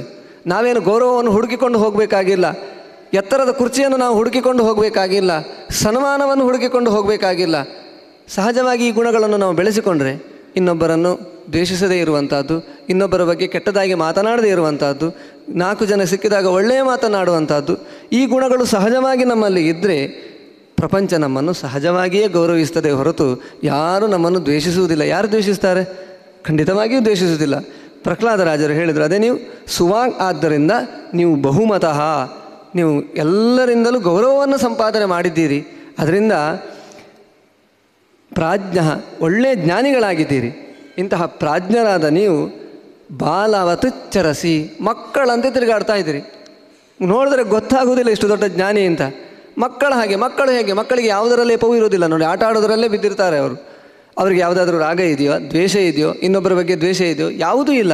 ಇನ್ನೊಬ್ಬರನ್ನು ಬೈದು ಮಾತಾಡ್ತಾರೋ, ಏನೂ ಮಾಡುವುದಿಲ್ಲ. ಹಾಗಾಗಿ ಮಕ್ಕಳ ಹಾಗೆ, ಮಗುವಿನ ಹಾಗೆ ನೀವು ಸಂಚಾರ ಸಂಚಾರ ಮಾಡ್ತಾ ಇದ್ದೀರಿ ಅಂತ ಹೇಳಿ ಮುಂದೆ ಇನ್ನೂ ಅವರ ಗುಣಗಳನ್ನು ಹೇಳ್ತಾರೆ ನೈವ ಪ್ರಾರ್ಥಯಸೆ ಲಾಭಂ, ನ ಅಲಾಭೇಶು ಅನುಶೋಚಸಿ, ನಿತ್ಯತೃಪ್ತ ಇವ ಬ್ರಹ್ಮನ್ನ ಕಿಂಚಿದವ ಮನ್ಯಸೆ. ಯಾವುದನ್ನು ನೀವು ಅಪೇಕ್ಷೆ ಪಡುವುದಿಲ್ಲ. ನನಗದು ಬೇಕು, ಇದು ಬೇಕು ಅದರ ಲಾಭ ಬೇಕು, ಇದರ ಲಾಭ ಬೇಕು ಅಂತ ಯಾವುದನ್ನು ನೀವು ಅಪೇಕ್ಷೆ ಪಡುವುದಿಲ್ಲ. ಹಾಗೆ ಅಲಾಭೇಶು ಅನುಶೋಚಿಸಿ ಇತ್ತು, ಒಂದಿಷ್ಟು ಏನೋ ದೇವರು ಕೊಟ್ಟಿದ್ದಿತ್ತು. ಅದು ನಷ್ಟ ಆಯಿತು. ಅಯ್ಯೋ, ಹೋಯಿತು ಅಂತ ದುಃಖನೂ ಪಡುವುದಿಲ್ಲ ನೀವು. ಲಾಭ ಆದರೂ ನಿಮಗೆ ದುಃಖ ಇಲ್ಲ. ನಷ್ಟ ಆದರೂ ದುಃಖ ಇಲ್ಲ. ಯಾವುದರ ಬಗ್ಗೆನೂ ನೀವು ಆಲೋಚನೆ ಮಾಡ್ತಾ ಇಲ್ಲ. ನಿತ್ಯ ತೃಪ್ತ ಇವ ಬ್ರಹ್ಮನ್ ನಕಿಂಚಿದವ ಮನ್ಯಸೆ. ನಿತ್ಯ ತೃಪ್ತರ ಹಾಗೆ ಇದ್ದೀರಿ. ಒಬ್ಬ ಸುಭಾಷಿತಕಾರ ಹೇಳ್ತಾನೆ ಮನಸ್ಸಿಚ ಪರಿತುಷ್ಟ ಕೋರ್ಥವಾನ್ ಕೋ ದರಿದ್ರ ಅಂತ. ಯಾರು ದರಿದ್ರ, ಯಾರು ಶ್ರೀಮಂತ ಅಂತ. ಬೇಕಾದಷ್ಟು ಸಂಪತ್ತು ಇದೆ. ಮನಸ್ಸಿನಲ್ಲಿ ಅವನಿಗೆ ತೃಪ್ತಿ ಇಲ್ಲ. ಆದರೆ ಅವನು ಶಾಸ್ತ್ರಕಾರ ಹೇಳಿದರು, ಅವನು ಶ್ರೀಮಂತ ಅಲ್ಲ ಅಂತ. ಯಾಕೆಂದ್ರೆ ತೃಪ್ತಿಯೇ ಇಲ್ಲ ಅವನಿಗೆ. ಅದೇ ಏನೂ ಇಲ್ಲ, ಭೌತಿಕವಾಗಿ, ಲೌಕಿಕವಾಗಿ ತುಂಬ ಬಡತನ ಕಾಡ್ತಾ ಇದೆ. ಆದರೆ ಇದ್ದದ್ದರಲ್ಲಿ ಅವನು ತೃಪ್ತಿಯನ್ನು ಪಟ್ಟು ಹೃದಯ ಶ್ರೀಮಂತಿಕೆಯನ್ನು ಬೆಳೆಸಿಕೊಂಡಿದ್ದಾನೆ. ಯಾರು ಬಂದರೂ ಮಾತಾಡ್ತಾನೆ, ತನ್ನಲ್ಲಿ ಇಲ್ಲ, ಮನೆಗೆ ಯಾರೋ ಬಂದರು, ಮನೆಗೆ ಬಂದರು ಅವರಿಗೆ ಆತಿಥ್ಯವನ್ನು ಮಾಡ್ತಾರೆ. ಇದಕ್ಕೊಂದು ಒಳ್ಳೆಯ ದೃಷ್ಟಾಂತ ಅಂದರೆ ಪ್ರಾತಸ್ಮರಣೀಯರಾಗಿರ್ತಕ್ಕಂಥ ವಿದ್ಯಾಮಾನ ತೀರ್ಥರಿದ್ದರು ಅವರ ತಂದೆ ರಾಮಕೃಷ್ಣ ತಂತ್ರಿಗಳು ಅಂತ. ಅವರು ಹಾಗೆ ಇದ್ದವರಂತೆ. ಯಾಕೆಂದರೆ ಅವರು ಬ್ರಾಹ್ಮಣರು, ಅವರು ದೊಡ್ಡ ವಿದ್ವಾಂಸರಾಗಿದ್ದವರು. ತಂತ್ರಿಗಳಾಗಿ, ದೊಡ್ಡ ಧರ್ಮಶಾಸ್ತ್ರಜ್ಞರಾಗಿ, ವೇದಾಂತ ವಿದ್ಯೆಯನ್ನು ಸಂಪಾದನೆ ಮಾಡ, ಮಾಡಿದವರಾಗಿ, ಇದೇ ಅದುಮಾರು ಮಠದ ದೊಡ್ಡ ಗುರುಗಳಾಗಿರ್ತಕ್ಕಂತಹ ವಿಬುಧ ಪ್ರಿಯ ತೀರ್ಥರು. ನಾವಿವತ್ತು ಅದುಮಾರು ಮಠದ ಒಳಗೆ ಹೋಗುವಾಗ ಅವರ ಚಿತ್ರವನ್ನು ನೋಡ್ತೇವೆ. ಅವರ ಕಾಲದಲ್ಲಿ ಆಸ್ಥಾನ ವಿದ್ವಾಂಸರಾಗಿ ಇದ್ದಂತಹ ತಂತ್ರಿಗಳು ಅವರಿಗೆ ಲೌಕಿಕವಾಗಿ ತುಂಬ ಬಡತನ ಇತ್ತು. ಆದರೆ ಅವರ ನಿತ್ಯ ಜೀವನ ಹೇಗಿತ್ತು ಅಂತ ಕೇಳಿದರೆ, ನಿತ್ಯವೂ ಒಬ್ಬ ಬ್ರಾಹ್ಮಣನನ್ನು ಮನೆಗೆ ಕರೆದು ಊಟ ಹಾಕದೆ ತಾವು ಊಟ ಮಾಡ್ತಾ ಇರಲಿಲ್ಲ ಅಂತ. ಅದು ಅವರಲ್ಲಿ ಇದ್ದಂತಹ ಶ್ರೀಮಂತಿಕೆ. ಅದು ನಿಜವಾದ ಶ್ರೀಮಂತಿಕೆ. ಅದನ್ನೇ ನಾವು ಹೇಳುವಂಥದ್ದು, ಮನಸ್ಸಿನಲ್ಲಿ ತೃಪ್ತಿ ಇದ್ದವ, ಇದ್ದದ್ದರಲ್ಲಿ ತೃಪ್ತಿ ಪಡುವವ, ಅವ ನಿಜವಾದ ಶ್ರೀಮಂತ. ಎಷ್ಟಿದ್ರೂ ತೃಪ್ತಿ ಇಲ್ಲ, ಇನ್ನು ಬೇಕು ಅಂತ ಅತೃಪ್ತಿ ಅವನನ್ನು ಕಾಡ್ತಾ ಇದೆ ಅಂತ ಆದರೆ ಅವನು ಶ್ರೀಮಂತ ಅಲ್ಲ. ಅವನು ನಿಜವಾದ ದರಿದ್ರ ಅಂತ ಸುಭಾಷಿತಕಾರ ಹೇಳಿದ ಹಾಗೆ, ಇಲ್ಲಿ ಇವರು ಹಾಗೆ. ನೀವು ಯಾವುದರಲ್ಲೂ ಆಸೆ ಪಟ್ಟವರಲ್ಲ. ಬೇಕು ಅಂತಲೂ ನಿಮಗೆ ಆಸೆ ಇಲ್ಲ. ಹೋದರೂ ಬೇಸರ ಇಲ್ಲ. ಹಾಗಾಗಿ ನಿತ್ಯ ತೃಪ್ತರಾಗಿದ್ದೀರಿ. ಏನಾದರೂ ಒಂದೇ ಲೆಕ್ಕ. ನಿತ್ಯ ತೃಪ್ತರ ಅಂತೆ ಕಾಣಿಸ್ತಾ ಇದ್ದೀರಿ. ಆದ್ದರಿಂದ ನೀವು ನಿಜವಾದ ಶ್ರೀಮಂತರಾಗಿದ್ದೀರಿ. ಈ ರೀತಿಯಾಗಿ ನೀವು ಬ್ರಹ್ಮನ್ನ ಕಿಂಚಿದವ ಮನ್ಯಸೆ ಯಾರನ್ನು ನೀವು ಕೀಳಾಗಿ ಕಾಣುವುದಿಲ್ಲ. ಯಾರನ್ನು ಅವಮಾನ ಮಾಡ್ತಾ ಇಲ್ಲ. ನಾವು ಇನ್ನೊಬ್ಬರನ್ನು ಅವಮಾನ ಮಾಡ್ತೇವೆ. ಯಾವಾಗ? ನಮಗೆ ಒಂದು ಯಾವುದಾದ್ರ ಅದು ಅಹಂಕಾರ ಇರಬೇಕು. ಒಂದು ಅಧಿಕಾರದ ಅಹಂಕಾರ, ಅಥವಾ ಒಂದು ವಿದ್ಯೆ ಇದೆ ಅಂತ ದುರಹಂಕಾರ, ಅಥವಾ ದುಡ್ಡಿನ ದುರಹಂಕಾರ. ಇದಿದ್ದಾಗ ಇನ್ನೊಬ್ಬರನ್ನು ತುಚ್ಛವಾಗಿ ಕಾಣ್ತೇವೆ ನಾವು. ಇನ್ನೊಬ್ಬರನ್ನು ಅವಮಾನ ಮಾಡ್ತೇವೆ. ಕೀಳು ಮಟ್ಟದಲ್ಲಿ ನೋಡ್ತೇವೆ. ಆದರೆ ಇದು ಯಾವುದು ಅವರಿಗೆ ಬೇಕಾಗಿಲ್ಲ, ಅದರ ಬಗ್ಗೆ ಪರಿಕಲ್ಪನೆ ಅವರಿಗಿಲ್ಲ, ಎಲ್ಲವನ್ನು ತೊರೆದವರು. ಆದ್ದರಿಂದ ನೀವು ಯಾರನ್ನು ಕೂಡ ಅವಮನ್ಯಸೆ ಯಾರನ್ನು ನೀವು ಅವಮಾನ ಮಾಡ್ತಾ ಇಲ್ಲ.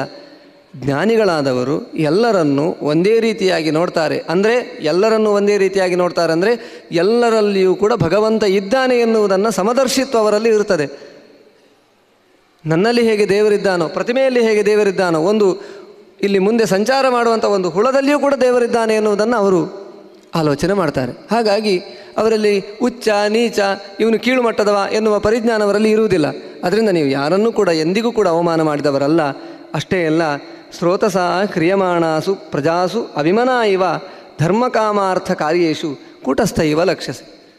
ನೀವು ಯಾವುದೇ ಧರ್ಮ ಕಾರ್ಯಗಳಾಗಲಿ, ಕಾಮಕ್ಕೋಸ್ಕರ ಆಗಲಿ ಅರ್ಥ ಕಾರ್ಯಗಳಲ್ಲಿ ಆಗಲಿ, ನಿಮ್ಮನ್ನು ನೀವು ತೊಡಗಿಸಿಕೊಂಡವರಲ್ಲ. ಲೋಕವೆಲ್ಲ ಏನಾಗ್ತಿದೆ ಇವತ್ತು ಅಂತ ಕೇಳಿದರೆ ಸ್ರೋತಸ ಹ್ರಿಯಮಾಣಾಸು ಕಾಮಪ್ರವಾಹದಲ್ಲಿ ಅದು ತಡೆಯಿಲ್ಲದೆ ಕೊಚ್ಚಿಕೊಂಡು ಹೋಗ್ತಾ ಇದೆ. ಇಡೀ ಪ್ರಪಂಚ. ಎಲ್ಲರೂ ಕೂಡ ತಮಗೆ ಅದು ಬೇಕು, ಇದು ಬೇಕು ಎನ್ನುವ ಪ್ರವಾಹದಲ್ಲಿಯೇ ಬಿದ್ದು ಹೊರಳಾಡ್ತಾ ಇದ್ದಾರೆ. ಇಂತಹ ಒಂದು ಕಾಲದಲ್ಲಿ ನೀವು ಯಾವುದು ಬೇಡ ಅಂತ ಅದನ್ನೆಲ್ಲ ಬದಿಗೆ ಒತ್ತಿ ಕೂಟಸ್ಥ ಇವ ಆಕಾಶದಂತೆ ನಿರ್ವಿಕಾರರಾಗಿದ್ದೀರಿ. ಆಕಾಶ ನೋಡಿ, ಏ ನೀವು ಅದರಲ್ಲಿ ಎಲ್ಲವೂ ಸಂಚಾರ ಮಾಡ್ತವೆ ಇಲ್ಲೆಲ್ಲ ಇರುವಂಥದ್ದು ಆಕಾಶನೇ. ಆಕಾಶವನ್ನು ಎಲ್ಲರೂ ಉಪಯೋಗಿಸಿಕೊಳ್ತಾರೆ ಆದರೆ ಅದು ಯಾವುದನ್ನು ಅಂಟಿಸಿಕೊಳ್ಳುವುದಿಲ್ಲ. ಹಾಗಾಗಿ ಆಕಾಶ ಹೇಗೆ ನಿರ್ವಿಕಾರವಾಗಿದೆಯೋ ಅದೇ ರೀತಿಯಾಗಿ ನೀವು ಯಾವುದರಲ್ಲಿಯೂ ನಿಮ್ಮನ್ನು ತೊಡಗಿಸಿಕೊಳ್ಳದೆ ನಿರ್ವಿಕಾರರಾಗಿ ಈ ಪ್ರಪಂಚ ಇಷ್ಟು ತಾವು ಕಾಮಗಳಲ್ಲಿ, ಇಚ್ಛೆಗಳಲ್ಲಿ ತಮ್ಮನ್ನು ತಾವು ತೊಡಗಿಸಿಕೊಂಡರೂ ಕೂಡ ನೀವು ಅದರ ಬಗ್ಗೆ ಆಲೋಚನೆನೇ ಮಾಡ್ತಾ ಇಲ್ಲ. ನಾನು ತಿಷ್ಠತಿ ಧರ್ಮಾರ್ಥವು ನಕಾಮೆ ಚಾಪಿ ವರ್ತಸೆ ಇಂದ್ರಿಯಾರ್ಥಾನ್ ಅನಾದೃತ್ಯ ಮುಕ್ತಶ್ಚರಸಿ ಸಾಕ್ಷಿವತ್. ನೀವು ಧರ್ಮವನ್ನಾಗಲಿ, ಅರ್ಥವನ್ನಾಗಲಿ, ಕಾಮವನ್ನಾಗಲಿ ಯಾವುದನ್ನು ನೀವು ಬಯಸುವಂತೆ ಕಾಣ್ತಾ ಇಲ್ಲ. ನಿಮ್ಮನ್ನು ನೋಡುವಾಗ ನಮಗೆ ಹಾಗೆ ಅನಿಸುವುದೇ ಇಲ್ಲ. ಯಾಕೆಂದರೆ ಯಾವಾಗ ನೋಡೋದು ಸಂಚಾರ ಮಾಡ್ತಾ ಇರ್ತೀರಿ. ಇಂದ್ರಿಯ ಅರ್ಥ ಅನಾದ್ರತೆ, ಯಾಕೆಂದರೆ ಇಂದ್ರಿಯಗಳಿಗೆ ಯಾವುದು ವಸ್ತುಗಳು ಬೇಕೋ ಅದನ್ನೆಲ್ಲ ತಿರಸ್ಕಾರ ಮಾಡ್ತಾ ಇದ್ದೀರಿ. ಯಾವುದರ ಬಗ್ಗೆಯೂ ನಿಮಗೆ ಆಸಕ್ತಿ ಇಲ್ಲ. ಹಾಗೆಯೇ ಸಂಚಾರ ಮಾಡ್ತಾ ಇದ್ದೀರಿ. ಅದನ್ನು ಧಿಕ್ಕರಿಸಿ ನೀವು ಮುಕ್ತನಂತೆ, ಎಲ್ಲವನ್ನು ಬಿಟ್ಟವರಂತೆ ಸಂಚಾರ ಮಾಡ್ತಾ ಇದ್ದೀರಿ. ಅದರಿಂದ ಸಾಕ್ಷಿವತ್ ನಿಮ್ಮ ಸ್ವರೂಪದ ಪ್ರಜ್ಞೆ ನೀವು ಅರಿತುಕೊಂಡು ನೀವು ಸಂಚಾರ ಮಾಡ್ತಾ ಇದ್ದೀರಿ ಅಂತ ಪ್ರಹ್ಲಾದರಾಜರು ಹೇಳ್ತಾರಂತೆ. ಸ್ವರೂಪ ಪ್ರಜ್ಞೆ ಅಂದರೆ ನಾವು ಮುಂದೆ ಎಲ್ಲಿಗೆ ಹೋಗಬೇಕು, ನಮ್ಮ ನಿಜವಾದ ಸ್ವರೂಪ ಏನು? ಈ ಪ್ರಪಂಚದಲ್ಲಿಯೇ ಬಿದ್ದು ನಾವು ಇದಕ್ಕೋಸ್ಕರ ನಮ್ಮ ಹೋರಾಟವನ್ನು ಮಾಡ್ತಾ ಇದ್ದರೆ ಇದು ಶಾಶ್ವತವಲ್ಲ, ಇದು ನಶ್ವರವಾದದ್ದು. ಇಂದಲ್ಲ ನಾಳೆ ಎಲ್ಲವೂ ನಮ್ಮನ್ನು ಬಿಟ್ಟು ಹೋಗುವಂಥದ್ದು ಹಾಗಾಗಿ ಮುಖ್ಯವಾಗಿ ಶಾಶ್ವತವಾಗಿ ನಮ್ಮ ಜೊತೆ ಇರುವುದು ಯಾವುದು? ಅದನ್ನು ನೀವು ಅರಿತು ಆ ಸ್ವರೂಪ ಪ್ರಜ್ಞೆಯಿಂದ ನೀವು ನಿಮ್ಮ ನಿಮ್ಮ ಸಂಚಾರ ಹಾಗೆ ಇದೆ, ನಿಮ್ಮ ವರ್ತನೆ ಹಾಗೆ ಇದೆ ಅಂತ ಹೇಳಿ ಅವರ ಕೊನೆಗೆ ಒಂದು ಪ್ರಶ್ನೆಯನ್ನು ಮಾಡ್ತಾರೆ ಪ್ರಹ್ಲಾದರಾಜರು ಕಾನು ಪ್ರಾಜ್ಞ ಶ್ರುತಂ ವಾಕಿಂ ವೃತ್ತಿರ್ವಾ ಕಾನುತೆ ಮುನೆ ಕ್ಷಿಪ್ರಮಾಚಕ್ಷ್ಮೇ ಬ್ರಹ್ಮನ್ ಶ್ರೇಯೋ ಯದಿಹ ಮನ್ಯಸೆ ಅಂತ. ಈ ಗುಣಗಳೆಲ್ಲ ನಿಮಗೆ ಹೇಗೆ ಬಂತು? ಇಷ್ಟೆಲ್ಲ ಗುಣಗಳನ್ನು ಪ್ರಹ್ಲಾದರಾಜರು ಹೇಳಿದರು. ನೀವು ಸ್ವಸ್ಥರಾಗಿದ್ದೀರಿ, ಶಕ್ತರಾಗಿದ್ದೀರಿ, ಮೃದು ಸ್ವಭಾವವುಳ್ಳವರಾಗಿದ್ದೀರಿ, ಇಷ್ಟೆಲ್ಲ ನಾವು ನೋಡಿದ್ದೇವೆ. ಇಷ್ಟೆಲ್ಲ ನಾವು ನಿಮ್ಮ ಬಗ್ಗೆ ನಾನು ಹೇಳಿದ್ದೇನೆ. ಇದೆಲ್ಲ ನಿಮಗೆ ಗುಣಗಳು ಹೇಗೆ ಬಂತು? ಈ ಗುಣಗಳನ್ನು ನೀವು ಹೇಗೆ ರೂಢಿಸಿಕೊಂಡಿರಿ? ನಿಮ್ಮ ಜ್ಞಾನ ಯಾವ ಮಟ್ಟದಲ್ಲಿದೆ ನಮಗೆ ಅರ್ಥ ಆಗ್ತಾ ಇಲ್ಲ. ನಿಮ್ಮ ಪ್ರಜ್ಞೆ ಎಂಥದ್ದು ನೀವು ಏನು ವಿದ್ಯೆಯನ್ನು ನೀವು ಕಲ್ತಿದ್ದೀರಿ? ನಿಮ್ಮ ವಿದ್ಯೆ ಎಷ್ಟಿದೆ? ನಿಮ್ಮ ವೃತ್ತಿ ಏನು? ನೀವು ಏನು ವೃತ್ತಿಯನ್ನು ಮಾಡ್ತಾ ಇದ್ದೀರಿ? ಇದೆಲ್ಲ ನನಗೆ ಪ್ರಶ್ನೆಗಳು ಕಾಡ್ತಾ ಇದೆ. ಆದ್ದರಿಂದ ಬ್ರಹ್ಮನ್ ಶ್ರೇಯ ಯದಿಹ ಮನ್ಯಸೆ. ನನಗೇನಾದರೂ ಇದರಿಂದ ಶ್ರೇಯ ಬ್ರಹ್ಮನ್ ಅಂದರೆ ನೀವೆಲ್ಲವನ್ನು ತಿಳಿದವರು.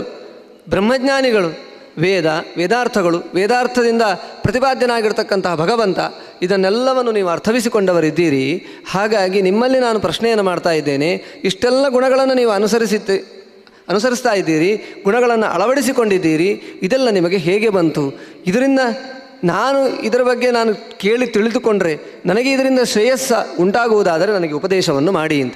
ಶ್ರೇಯಸ್ಸು ಅಂದರೆ ಮುಕ್ತಿ. ನನಗೆ ಇದರಿಂದ ಮುಕ್ತಿ ಪ್ರಾಪ್ತಿಯಾಗುವುದು ಅಂತಾದರೆ ನನಗೆ ಇದರ ಬಗ್ಗೆ ಉಪದೇಶವನ್ನು ಮಾಡಿ ಅಂತ ಪ್ರಹ್ಲಾದರಾಜರಲ್ಲಿ ಪ್ರಹ್ಲಾದರಾಜ ತಾನು ಅಜಗರ ಮುನಿಯಲ್ಲಿ ಪ್ರಶ್ನೆಯನ್ನಿಟ್ಟಾಗ ಅಜಗರ ಮುನಿಗಳು ಮಾತಾಡಲಿಕ್ಕೆ ಪ್ರಾರಂಭ ಮಾಡ್ತಾರಂತೆ.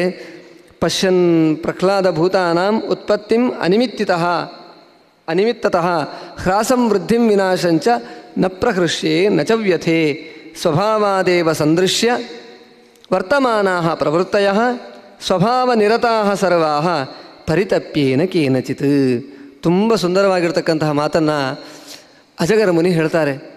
ಏನಂತ ಕೇಳಿದ್ರೆ ಪ್ರಹ್ಲಾದರಾಜರೇ ನೋಡಿ, ಭೂತಾನಾಂ ಉತ್ಪತ್ತಿಂ ಅನಿಮಿತ್ತತಃ. ಈ ಪ್ರಪಂಚದಲ್ಲಿ ಸೃಷ್ಟಿಯಾಗ್ತದೆ ಪ್ರಾಣಿಗಳ ಸೃಷ್ಟಿಯಾಗ್ತದೆ ಅವುಗಳು ಬೆಳೀತಾವೆ, ಅವುಗಳ ನಾಶವಾಗ್ತದೆ, ಪ್ರಾಣಿಗಳು, ವಸ್ತುಗಳು ಎಲ್ಲವೂ ಕೂಡ ಈ ಪ್ರಪಂಚದಲ್ಲಿ ಕಾಣಿಸುವ ವಸ್ತುಗಳ ಸೃಷ್ಟಿಯಾಗುತ್ತದೆ ಅವುಗಳು ಬೆಳೀತಾವೆ, ಆಮೇಲೆ ನಾಶ ಹೊಂದ್ತಾವೆ. ಇದೆಲ್ಲ ನಾವು ಮಾಡುವುದಲ್ಲ. ನಾವು ಮಾಡುವುದೇನು ಇದಲ್ಲ. ಅನಿಮಿತ್ತತಃ ನಮ್ಮ ನಿಮಿತ್ತದಿಂದ, ನಮ್ಮ ಕಾರಣದಿಂದ ಇದೆಲ್ಲ ಸೃಷ್ಟಿಯಾಗಿದ್ದಲ್ಲ. ನಾವು ಕಾರಣಭೂತರಾಗಿ ಇದನ್ನೆಲ್ಲವನ್ನು ಬೆಳೆಸಿದವರಲ್ಲ. ನಾವು ಇದನ್ನು ನಾಶ ಮಾಡುವವರಲ್ಲ. ಅದೆಲ್ಲ ಭಗವಂತನ ಒಂದು ಕಾರಣದಿಂದ. ನಾವು ಯಾರು ಇದಕ್ಕೆ ಕಾರಣ ಅಲ್ಲ ದೇವರೇ, ಅದಕ್ಕೆ ಕಾರಣನಾಗಿ ಎಲ್ಲವೂ ಕೂಡ ಅವರವರ ಸ್ವಭಾವಕ್ಕನುಗುಣವಾಗಿ ನಡೆಯುತ್ತದೆ ಅಂತ ಹೇಳ್ತಾರೆ. ಇದೆಲ್ಲವೂ ಕೂಡ ನೋಡಿ ಅವರು ಮೊದಲು ಕೇಳಿದ ಪ್ರಶ್ನೆ, ಸ್ವಸ್ಥಃ, ಶಕ್ತಃ ಮೃದುಹು ದಾಂತಹ ಈ ಪ್ರಜ್ಞೆ ಪ್ರಕ್ಲಾ ಆ ಅಜಗರ ಮುನಿಯಲ್ಲಿ ಜಾಗೃತವಾಗಿರೋದರಿಂದ ಅವರಲ್ಲಿ ಈ ಗುಣಗಳು ಮನೆ ಮಾಡಿಕೊಂಡಿವೆ. ಅವರು ಸ್ವಸ್ಥರಾಗಿದ್ದಾರೆ. ಯಾವುದೇ ಉದ್ವೇಗ ಇಲ್ಲ ಅವರಿಗೆ. ಯಾಕೆಂದರೆ ಯಾವ ವಸ್ತುಗಳು ಕೂಡ ಅದು ನಮಗೆ ಸಂಬಂಧಪಟ್ಟದ್ದು ಅಂತ ಅವರಿಗೆ ಪ್ರಜ್ಞೆ ಇಲ್ಲ. ಅವರು ಅದನ್ನು ಅಂಟಿಸಿಕೊಳ್ಳೇ ಇಲ್ಲ. ಈ ವಸ್ತು ನನ್ನದು. ನಾನು ಇದನ್ನು ಉಪಯೋಗಿಸ್ತಿದ್ದೇನೆ ನನ್ನಿಂದ ಇದು ಸೃಷ್ಟವಾದದ್ದು ಅಂತ ಅದರ ಮೇಲೆ ವ್ಯಾಮೋಹ. ಇದು ನನ್ನ ವಸ್ತು. ನಾನು ಇದನ್ನು ಸಾಕಿ ಸಲಹಿದ್ದಂತು ಅಂತ ಅದರ ಮೇಲೆ ವ್ಯಾಮೋಹ. ಅಯ್ಯೋ, ಕೊನೆಗೆ ನಾಶ ಆಯಿತು ಅಂತ ಅದರ ಮೇಲೆ ದುಃಖ. ಇದನ್ನು ಯಾವುದನ್ನು ಅವರು ಬೆಳೆಸಿಕೊಳ್ಳಲಿಲ್ಲ. ಆದ್ದರಿಂದ ಅವರಲ್ಲಿ ಯಾವುದೇ ರೀತಿಯಾಗಿರ್ತಕ್ಕಂಥ ಉದ್ವೇಗ ಇಲ್ಲ. ನಾವು ಯಾವಾಗ ಉದ್ವೇಗಕ್ಕೆ ಒಳಗಾಗ್ತೇವೆ, ಯಾವ ವಸ್ತುಗಳನ್ನು ನಾವು ನಮ್ಮದೂ ಅಂತ ನಾವು ವ್ಯಾಮೋಹಕ್ಕೆ ಒಳಗಾಗಿ ನಾವು ಅಂಟಿಕೊಳ್ತೇವೋ ಅದನ್ನು ಅಂಟಿಸಿಕೊಳ್ತೇವೋ ಆವಾಗ ನಮಗೆ ಉದ್ವೇಗ ಆಗುವಂಥದ್ದು ಸಹಜ. ಅದನ್ನು ಬಿಟ್ಟು ಹೋಗಬೇಕಾದ್ರೆ ದುಃಖ ಆಗ್ತದೆ, ಅದು ಪ್ರಾಪ್ತಿ ಆಗಬೇಕಾದ್ರೆ ಸುಖ ಆಗ್ತದೆ. ಅದು ಯಾವುದನ್ನು ಕೂಡ ಅವರು ತಮಗೆ ಅಂಟಿಸಿಕೊಂಡವರಲ್ಲ, ಆದ್ದರಿಂದ ಅವರಲ್ಲಿ ಯಾವುದೇ ರೀತಿಯಾಗಿರ್ತಕ್ಕಂಥ ಉದ್ವೇಗ ಇಲ್ಲ. ಅದನ್ನೇ ಅವರು ಹೇಳ್ತಾರೆ, ನಾವು ಯಾರು ಅದಕ್ಕೆ ಕಾರಣರಲ್ಲ. ಆದ್ದರಿಂದ ಅದು ಹುಟ್ಟಿದರೆ ನನಗೆ ಸುಖನೂ ಆಗುವುದಿಲ್ಲ, ನಾಶ ಆದರೆ ನಚವ್ಯಥೆ. ಇದನ್ನು ನಾನು ತಿಳಿದುಕೊಂಡಿದ್ದೇನೆ ಅಂತ ಹೇಳ್ತಾರೆ ಅಜಗರ ಮುನಿಗಳು. ನಮ್ಮ ಕಾರಣದಿಂದ ಇದು ನಡೆಯುವುದಿಲ್ಲವಾದ್ದರಿಂದ ಈ ಪ್ರಾಣಿಗಳ, ಈ ವಸ್ತುಗಳ ಸೃಷ್ಟಿ, ಸ್ಥಿತಿ ಇದರಿಂದ ನನಗೆ ಯಾವುದೇ ರೀತಿಯಾಗಿರ್ತಕ್ಕಂತಹ ಪರಿಣಾಮ ನನ್ನಲ್ಲಿ ಆಗುವುದಿಲ್ಲ ಅಂತ ಅವರು ಹೇಳಿದರು. ನ ಪ್ರಹೃಷ್ಯೆ, ನ ಚವ್ಯಥೆ. ನನಗೆ ಇದರಿಂದ ಸುಖನೂ ಆಗುವುದಿಲ್ಲ, ಇದರಿಂದ ದುಃಖನೂ ಆಗುವುದಿಲ್ಲ ಅಂತ. ಇದು ನೋಡಿ ತುಂಬ ಉಚ್ಛ್ರಾಯ ಸ್ಥಿತಿಗೆ ಹೋದಾಗ ಈ ಈ ರೀತಿಯಾಗಿರ್ತಕ್ಕಂತಹ ಜ್ಞಾನ ಬರಲಿಕ್ಕೆ ಸಾಧ್ಯ.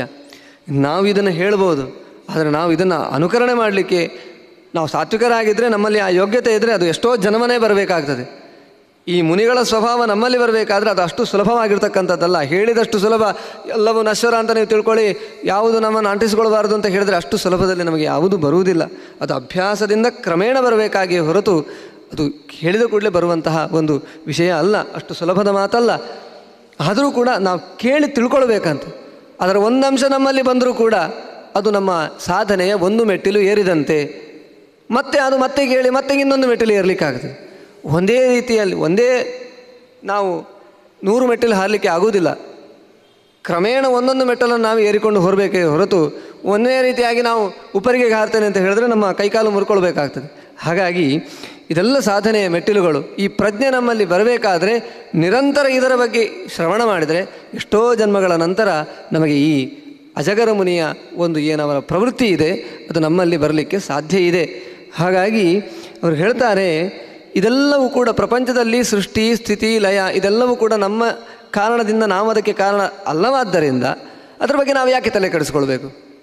ಈಗ ಯಾ ಪ್ರಪಂಚದಲ್ಲಿ ನಾವು ಅನುಭವದಲ್ಲಿ ನಾವು ನೋಡ್ತೇವೆ. ಈಗ ನಮ್ಮ ಬಂಧುಗಳು ನಮ್ಮನ್ನು ಬಿಟ್ಟು ಅಗಲಿದ್ರು ದೂರ ಹೋದರು ಅನ್ನುವಾಗ ನಮಗೆ ದುಃಖ ಆಗ್ತದೆ.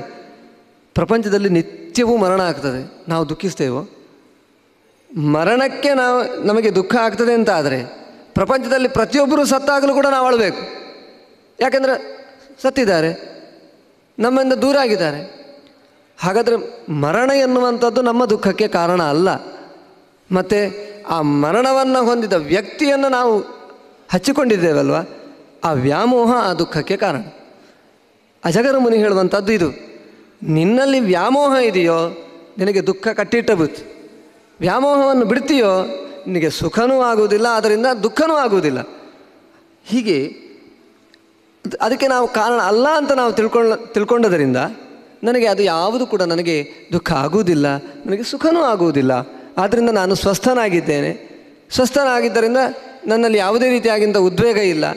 ಆದ್ದರಿಂದ ನಾನು ಸಮರ್ಥನಾಗಿದ್ದೇನೆ, ಶಕ್ತನಾಗಿದ್ದೇನೆ. ನನ್ನಲ್ಲಿ ಯಾವುದೇ ರೀತಿಯಾದಂತಹ ನಿಶಕ್ತಿ ಇಲ್ಲ. ಮೊದಲು ಹೇಳಿದ ಪ್ರಶ್ನೆ ನೋಡಿ. ಆದ್ದರಿಂದ ನಾನು ಮೃದು ಸ್ವಭಾವವುಳ್ಳವನಾಗಿದ್ದೇನೆ. ಉದ್ವೇಗಕ್ಕೊಳಗಾಗುವುದಿಲ್ಲ. ನಮ್ಮಿಂದ ಒಂದು, ನಮ್ಮ ಒಂದು ವಸ್ತು ನಷ್ಟ ಆಯಿತು ಅಂತಾದರೆ ಉದ್ವೇಗಕ್ಕೊಳಗಾಗಿಬಿಡ್ತೇವೆ. ಅದು ನಮ್ಮದೇ ಅಲ್ವೇ ಅಲ್ಲ ಅಂತ ನಮಗೆ ಭಾವನೆ ಇದ್ದರೆ ನಾವು ಯಾಕೆ ಉದ್ವೇಗಕ್ಕೆ ಒಳಗಾಗಬೇಕು?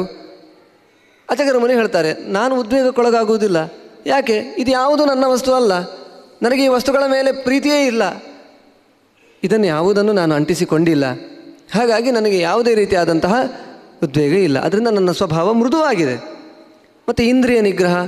ಇಂದ್ರಿಯ ನಿಗ್ರಹವು ಕೂಡ ಹಾಗೆ. ಈ ಪ್ರಾಪಂಚಿಕ ವಿಷಯಗಳು, ಅದು ನಮ್ಮನ್ನು ಬಿಟ್ಟು ಹೋಗುವುದು ಅಂತ ಆದಮೇಲೆ ಅವುಗಳ ಮೇಲೆ ನಾವು ಇಂದ್ರಿಯವನ್ನು ಹರಿಯಬಿಟ್ಟು, ಅದನ್ನು ನಾವು ಯಾಕೆ ನಮ್ಮ ಮೇಲೆ ಹಾಕಿಕೊಳ್ಬೇಕು ಬೇಡ. ಅದರಿಂದ ನನಗೆ ಇಂದ್ರಿಯ ನಿಗ್ರಹವೂ ಇದೆ.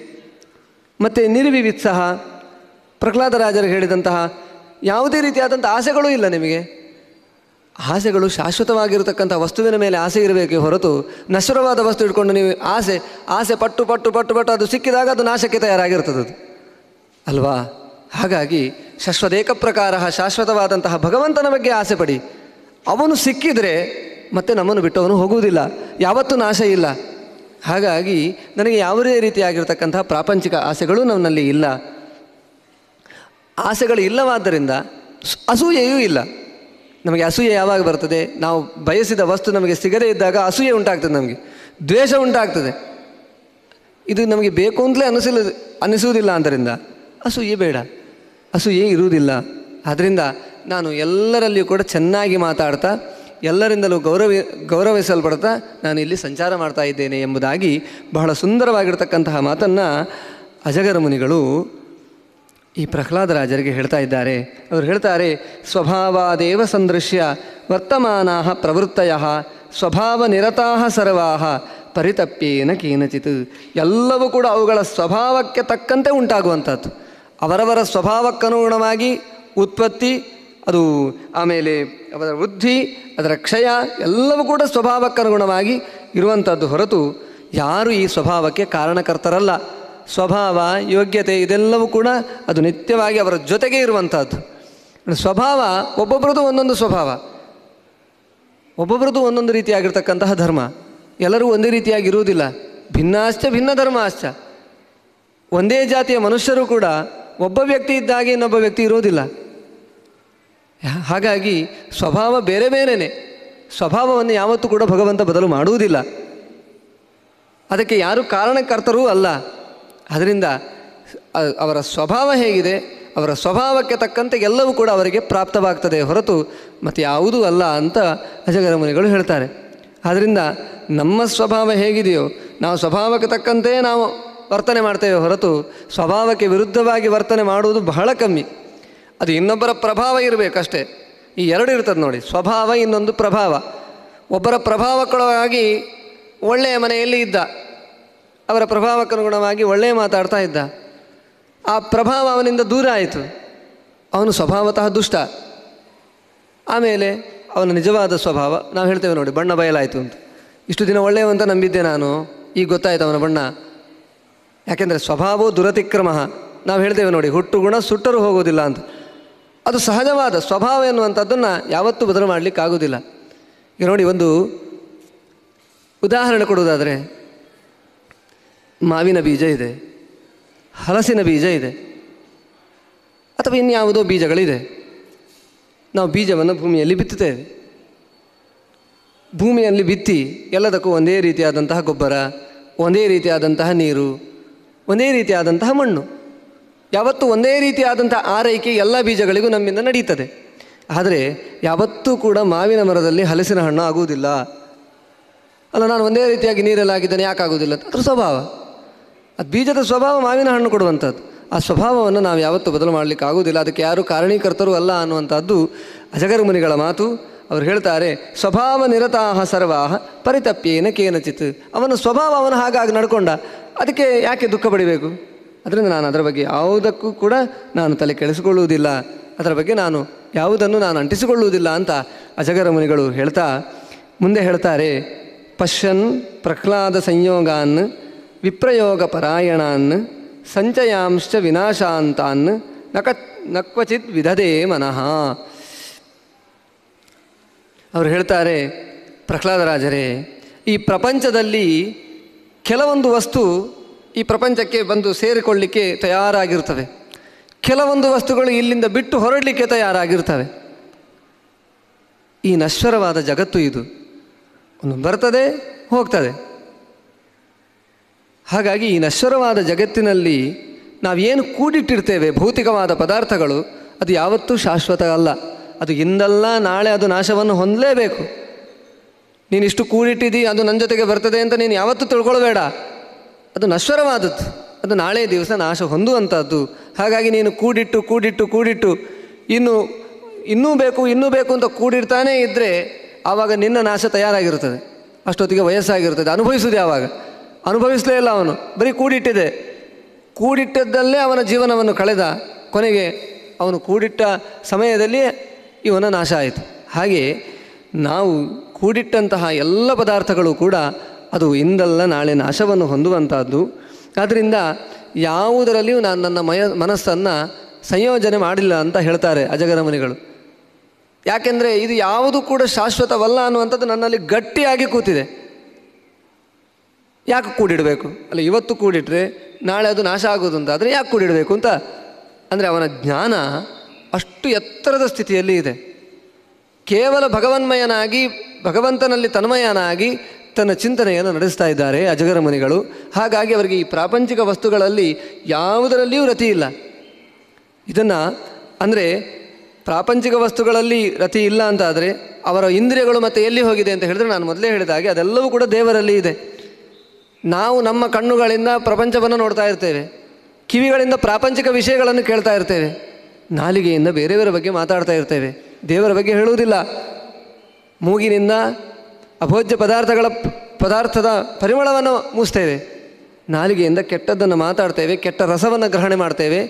ಕೈಯಿಂದ ಹೊಡೆಯೋದು, ಬಡಿಯೋದು, ಕಾಲಿನಿಂದ ತುಳಿಯೋದು, ಇಂತಹ ಅಥವಾ ಯಾವುದಕ್ಕೂ ಉಪಯೋಗ ಇಲ್ಲದ ಜಾಗಗಳಲ್ಲಿ ಸಂಚಾರ ಮಾಡುವಂಥದ್ದು ಈ ರೀತಿಯಾಗಿ ನಾವು ಮಾಡ್ತೇವೆ ಹೊರತು ಜ್ಞಾನಿಗಳಾದವರು ಆ ಇಂದ್ರಿಯಗಳನ್ನೆಲ್ಲ ಈ ವಿಷಯಗಳಿಂದ ತಾವೆಲ್ಲ ಹತೋಟಿಯಲ್ಲಿಟ್ಟುಕೊಂಡು ಕಣ್ಣುಗಳಿಂದ ಬರಿಯ ದೇವರ ದರ್ಶನ, ಮೂಗಿನಿಂದ ದೇವರ ಪ್ರಸಾದದ ಆಘ್ರಾಣ, ಕಿವಿಗಳಿಂದ ದೇವರ ಬಗ್ಗೆ ಶ್ರವಣ ಬಾಯಿಯಿಂದ ದೇವರ ನಾಮಸ್ಮರಣ, ದೇವರ ಪ್ರಸಾದ ಸ್ವೀಕರಣ, ಕೈಯಿಂದ ದೇವರ ಅರ್ಚನ, ಕಾಲಿನಿಂದ ದೇವರಿಗೆ ಪ್ರದಕ್ಷಿಣೆ, ಇಡೀ ದೇಹವನ್ನು ದೇವರಿಗಾಗಿ ಸಮರ್ಪಣೆ ಮಾಡಿರ್ತಿರ್ತಾರೆ.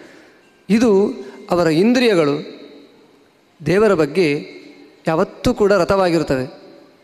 ಇದು ನಿಜವಾದ ಇಂದ್ರಿಯ ನಿಗ್ರಹ. ಶ್ರೀಮದ್ ವಾದಿರಾಜ ಗುರು ಸಾರ್ವಭೌಮರು ಇದರ ಬಗ್ಗೆ ಒಂದು ಸ್ತೋತ್ರವನ್ನು ಮಾಡಿದ್ದಾರೆ. ಪ್ರಾರ್ಥನಾ ದಶಕ ಅಂತ ಅದರಲ್ಲಿ ಹೇಳ್ತಾರೆ, ನಮ್ಮ ಇಂದ್ರಿಯಗಳು ಯಾವುದನ್ನು ನನ್ನಿಂದ ಈ ಇಂದ್ರಿಯಗಳಿಂದ ಈ ಕೆಟ್ಟ ಕೆಲಸವನ್ನು ಮಾಡಬೇಡ, ಮಾಡೋ ಮಾಡೋ ಥರ ಮಾಡಬೇಡ, ಹಯಗ್ರೀವನಲ್ಲಿ ಪ್ರಾರ್ಥನೆ ಮಾಡ್ತಾರೆ.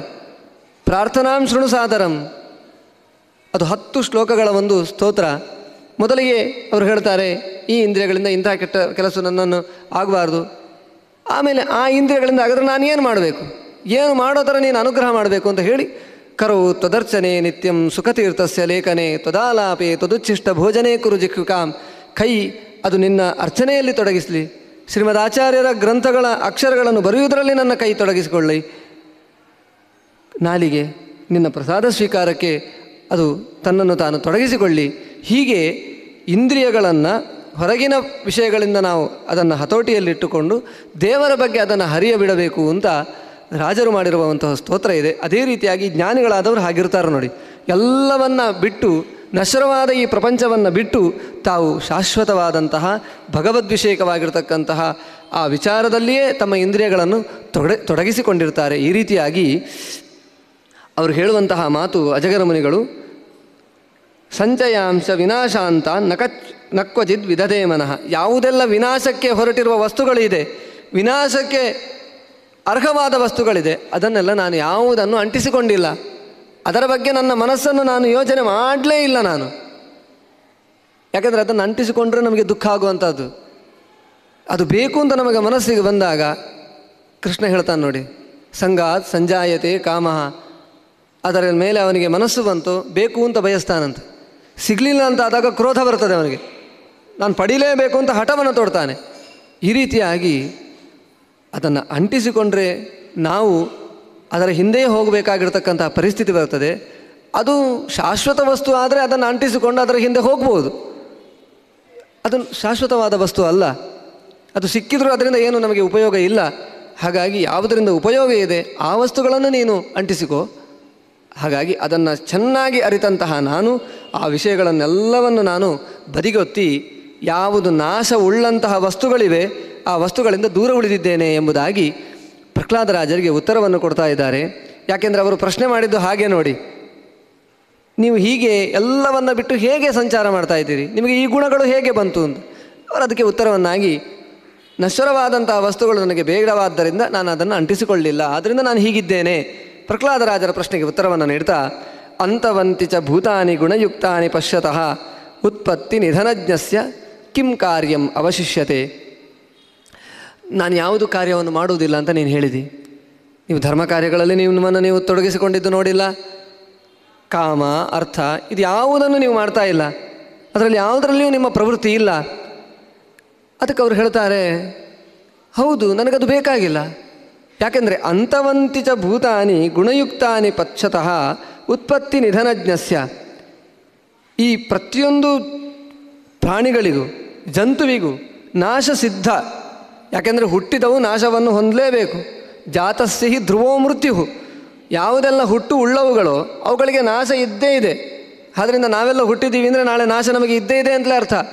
ಅದು ಸಿದ್ಧವಾದಂತಹ ಮಾತು. ಆದ್ದರಿಂದ ಈ ಪ್ರಾಣಿಗಳ ಉತ್ಪತ್ತಿ ನಾಶಗಳ ಬಗ್ಗೆ ನಾನು ಚೆನ್ನಾಗಿ ತಿಳಿದುಕೊಂಡಿದ್ದೇನೆ. ಉತ್ಪತ್ತಿ ನಿಧನಜ್ಞಸ್ಯ. ಉತ್ಪತ್ತಿ ಮತ್ತು ನಿಧನದ ಬಗ್ಗೆ ನನಗೆ ಚೆನ್ನಾಗಿ ಜ್ಞಾನ ಇದೆ. ಆದ್ದರಿಂದ ನನಗೆ ಲೋಕದಲ್ಲಿ ಮಾಡಬೇಕಾಗಿರುವಂಥದ್ದು ಯಾವುದೂ ಇಲ್ಲ. ಅಂತ ಆ ಮಾತನ್ನು ಅವ್ರು ಹೇಳ್ತಾ ಇದ್ದಾರೆ. ಅಜಗರ ಮುನಿಗಳು ಅವ್ರು ಹೇಳ್ತಾರೆ, ಜಲಜಾನಾಮಪಿ ಜಲಜಾನಾಮಪಿ ಹ್ಯಂತಂ ಪರ್ಯಾಯೇಣೋಪಲಕ್ಷಯೇ, ಮಹತಾಮಪಿ ಕಾಯಾನಾಂ ಸೂಕ್ಷ್ಮಾಣಾಂಚ ಮಹೋದಧೌ. ಸಮುದ್ರಗಳಲ್ಲಿ ಸಂಚಾರ ಮಾಡುವ ದೊಡ್ಡ ದೊಡ್ಡ ಪ್ರಾಣಿಗಳು, ಸೂಕ್ಷ್ಮವಾದ, ಅತ್ಯಂತ ಸೂಕ್ಷ್ಮ ಪ್ರಾಣಿಗಳು ಕೂಡ. ಎಲ್ಲವೂ ಕೂಡ ಒಂದಲ್ಲ ಒಂದು ದಿವಸ ನಾಶವನ್ನು ಹೊಂದಲೇಬೇಕು. ಅದನ್ನು ನಾನು ಪ್ರತ್ಯಕ್ಷವಾಗಿ ನೋಡ್ತಾ ಇದ್ದೇನೆ ಅಂತ ಹೇಳ್ತಾರೆ ಅವರು. ಅಯ್ಯೋ, ಅದು ಅಷ್ಟು ದೊಡ್ಡ ಪ್ರಾಣಿ, ಅದಕ್ಕೆ ನಾಶ ಇಲ್ಲವೇನೋ ಅಂತ ಇಲ್ಲ. ಎಷ್ಟು ದೊಡ್ಡ ಪ್ರಾಣಿ ಆದರೂ ಕೂಡ ನಾಳೆ ಅದು, ಆ ದೇಹವನ್ನು ಬಿಡಲೇಬೇಕು. ಅತ್ಯಂತ ಸೂಕ್ಷ್ಮ ಪ್ರಾಣಿಗಳಾದರೂ ಕೂಡ ಅದು ನಾಶವನ್ನು ಹೊಂದಲೇಬೇಕು. ಅದನ್ನೆಲ್ಲವನ್ನು ನಾನು ನೋಡ್ತಾ ಇದ್ದೇನೆ. ಹಾಗಾಗಿ ಇದೆಲ್ಲವೂ ಕೂಡ ಇದರ ಬಗ್ಗೆ ನನಗೆ ಚೆನ್ನಾಗಿ ಜ್ಞಾನ ಇದೆ. ಜಂಗಮ ಸ್ಥಾವರಾಣಾಂಚ ಭೂತಾನಾಂ ಅಸುರಾಧಿಪ ಪಾರ್ಥಿವಾನಾಂ ಅಭಿವ್ಯಕ್ತಂ ಮೃತ್ಯುಂ ಪಶ್ಯಾಮಿ ಸರ್ವಶಃ. ಈ ಮೃತ್ಯು ಎಲ್ಲರಿಗೂ ಕೂಡ ನಿಶ್ಚಯ. ಎಂಥವರನ್ನು ಅದು ಬಿಡುವುದಿಲ್ಲ. ಅದು ಜಂಗಮ ಪ್ರಾಣಿಗಳಾಗಿರಬಹುದು, ಸ್ಥಾವರ ಪ್ರಾಣಿಗಳಾಗಿರ್ಬೋದು ಚರಪ್ರಾಣಿಗಳು ಅಚರ ಪ್ರಾಣಿಗಳು, ಒಂದೇ ಕಡೆ ನಿಂತ ಜೀವಿಗಳಿರ್ಬೋದು ಸಂಚಾರ ಮಾಡುವ ಪ್ರಾಣಿಗಳಿರ್ಬೋದು ಎಲ್ಲದಕ್ಕೂ ಕೂಡ ಪಾರ್ಥಿವಾನಾಮಪಿ ಮೃತ್ಯುಂ ಪಶ್ಯಾಮಿ ಸರ್ವಶಃ. ಎಲ್ಲದಕ್ಕೂ ಕೂಡ ಮೃತ್ಯು ಎನ್ನುವಂಥದ್ದು ನಿಶ್ಚಯವಾಗಿರುವಂಥದ್ದು. ಹಾಗಾಗಿ ಅಂತಹ ಮೃತ್ಯು ನಿಶ್ಚಯವಾದದ್ದನ್ನು, ಅವ್ರಿಗೆ ಮೃತ್ಯುವನ್ನು ಹೊಂದುವುದನ್ನು ನಾನು ನೋಡ್ತಾ ಇದ್ದೇನೆ. ಆದ್ದರಿಂದ ನಾವು ಇದನ್ನು ಯಾವುದನ್ನು ಕೂಡ ನಾನು ಅಂಟಿಸಿಕೊಳ್ಳಿಲ್ಲ. ಅದರ ಬಗ್ಗೆ ಜ್ಞಾನ ನನಗೆ ಚೆನ್ನಾಗ, ಚೆನ್ನಾಗಿ ಇದೆ. ಅಂತರಿಕ್ಷ ಚರಾಣಾಂಚ ದಾನವೋತ್ತಮ ಪಕ್ಷಿಣ ಉತ್ತಿಷ್ಠತಿ ಯಥಾಕಾಲಂ ಮೃತ್ಯುರ್ಬಲವತಾಮಪಿ. ದಿವಿ ಸಂಚ, ಸಂಚರಮಾಣಾನಿ ಹ್ರಸ್ವಾನಿ ಚ ಮಹಾಂತಿ ಚ ಜ್ಯೋತಿಂಶಿ ಚ ಯಥಾಕಾಲಂ ಪತಮಾನಾನಿ ಲಕ್ಷ ಹೀಗೆ ಎಲ್ಲದರ ಬಗ್ಗೆ ಹೇಳ್ತಾರೆ. ಅಂತರಿಕ್ಷದಲ್ಲಿ ಸಂಚರಿಸುವ ಪಕ್ಷಿಗಳಿರ್ಬೋದು, ದೇವ, ದಾನವರು ಎಲ್ಲರಿಗೂ ಕೂಡ ಮೃತ್ಯು ಎನ್ನುವಂಥದ್ದು ಆಕ್ರಮಿಸಿಯೇ ಆಕ್ರಮಿಸ್ತದೆ. ಯಾರನ್ನೂ ಮೃತ್ಯು ಬಿಡುವುದಿಲ್ಲ. ಎಂತಹ ಬಲಾಢ್ಯರಾದರೂ ಕೂಡ ನಾನು ಸಾಯುವುದಿಲ್ಲ ಅಂತ ಹೇಳಲಿಕ್ಕಿಲ್ಲ. ಎಷ್ಟು ಅವರು ಬಲಾಢ್ಯರಾಗಿದ್ದರೂ ಕೂಡ ಎಂಥವರನ್ನು ಮೃತ್ಯು ಬಿಡದೆ ತಾನು ಆಕ್ರಮಿಸ್ತದೆ. ಎಲ್ಲರನ್ನೂ ಕೂಡ ಮೃತ್ಯು ತಾನು ನುಂಗಿ ಹಾಕ್ತದೆ. ಅದು ಲೋಕದಲ್ಲಿ ಸಂಚಾರ ಮಾಡುವವರು, ಆಕಾಶದಲ್ಲಿ ಸಂಚಾರ ಮಾಡುವವರು ನಕ್ಷತ್ರಗಳು, ದೊಡ್ಡ ನಕ್ಷತ್ರಗಳು, ಚಿಕ್ಕ ನಕ್ಷತ್ರಗಳು ಎಲ್ಲವೂ ಕೂಡ ಅವುಗಳು ಒಂದಲ್ಲ ಒಂದು ದಿವಸ ನಾಶವನ್ನು ಹೊಂದಿಯೇ ಹೊಂದುತ್ತವೆ. ಅದನ್ನು ಬಿದ್ದು ಹೋಗುವುದನ್ನು ನಾನು ನೋಡ್ತಾ ಇದ್ದೇನೆ ಎಂಬುದಾಗಿ ಈ ಮಾತನ್ನು ಆ ಅಜಗರ ಮುನಿಗಳು ಹೇಳ್ತಾ ಇದ್ದಾರೆ. ಅದರಿಂದ ಈ ಲೋಕದಲ್ಲಿ ಕಾಣಿಸುವಂತಹ ಎಲ್ಲ ವಸ್ತುಗಳಿಗೂ ಕೂಡ ನಾಶ ಇದೆ. ಅದರಿಂದ ನಾಶ ಇರುವುದರಿಂದ ಆ ನಾಶ ಇರುವ ವಸ್ತುಗಳ ಬಗ್ಗೆ ನಾನು ಅತ್ಯಂತ ನಾನು ಪ್ರೀತಿಯನ್ನು, ಆದರವನ್ನು ಬೆಳೆಸಿಕೊಂಡು ನನ್ನ ಸಮಯವನ್ನು ನಾನು ಯಾಕೆ ವ್ಯರ್ಥ ಮಾಡಲಿ? ನಾಶ ಇರುವ ವಸ್ತುಗಳನ್ನು ಬಿಟ್ಟು ಶಾಶ್ವತವಾದಂತಹ ಭಗವಂತನನ್ನು ಆಶ್ರಯಿಸಿದರೆ ಅವನು ನಮಗೆ ಪ್ರಾಪ್ತನಾಗ್ತಾನೆ. ಶಾಶ್ವತವಾದ ಆನಂದ ನಮಗೆ ಸಿಗಲಿಕ್ಕೆ ಸಾಧ್ಯ. ಅಂತ ಇತಿ ಭೂತಾನಿ ಸಂಪಶ್ಯನ್ ಅನುಶಕ್ತಾನಿ ಮೃತ್ಯುನ ಸರ್ವಸಾಮಾನ್ಯತೋ ವಿದ್ವಾನ್ ಕೃತಕೃತ್ಯ ಸುಖಂ ಸ್ವಪೇ.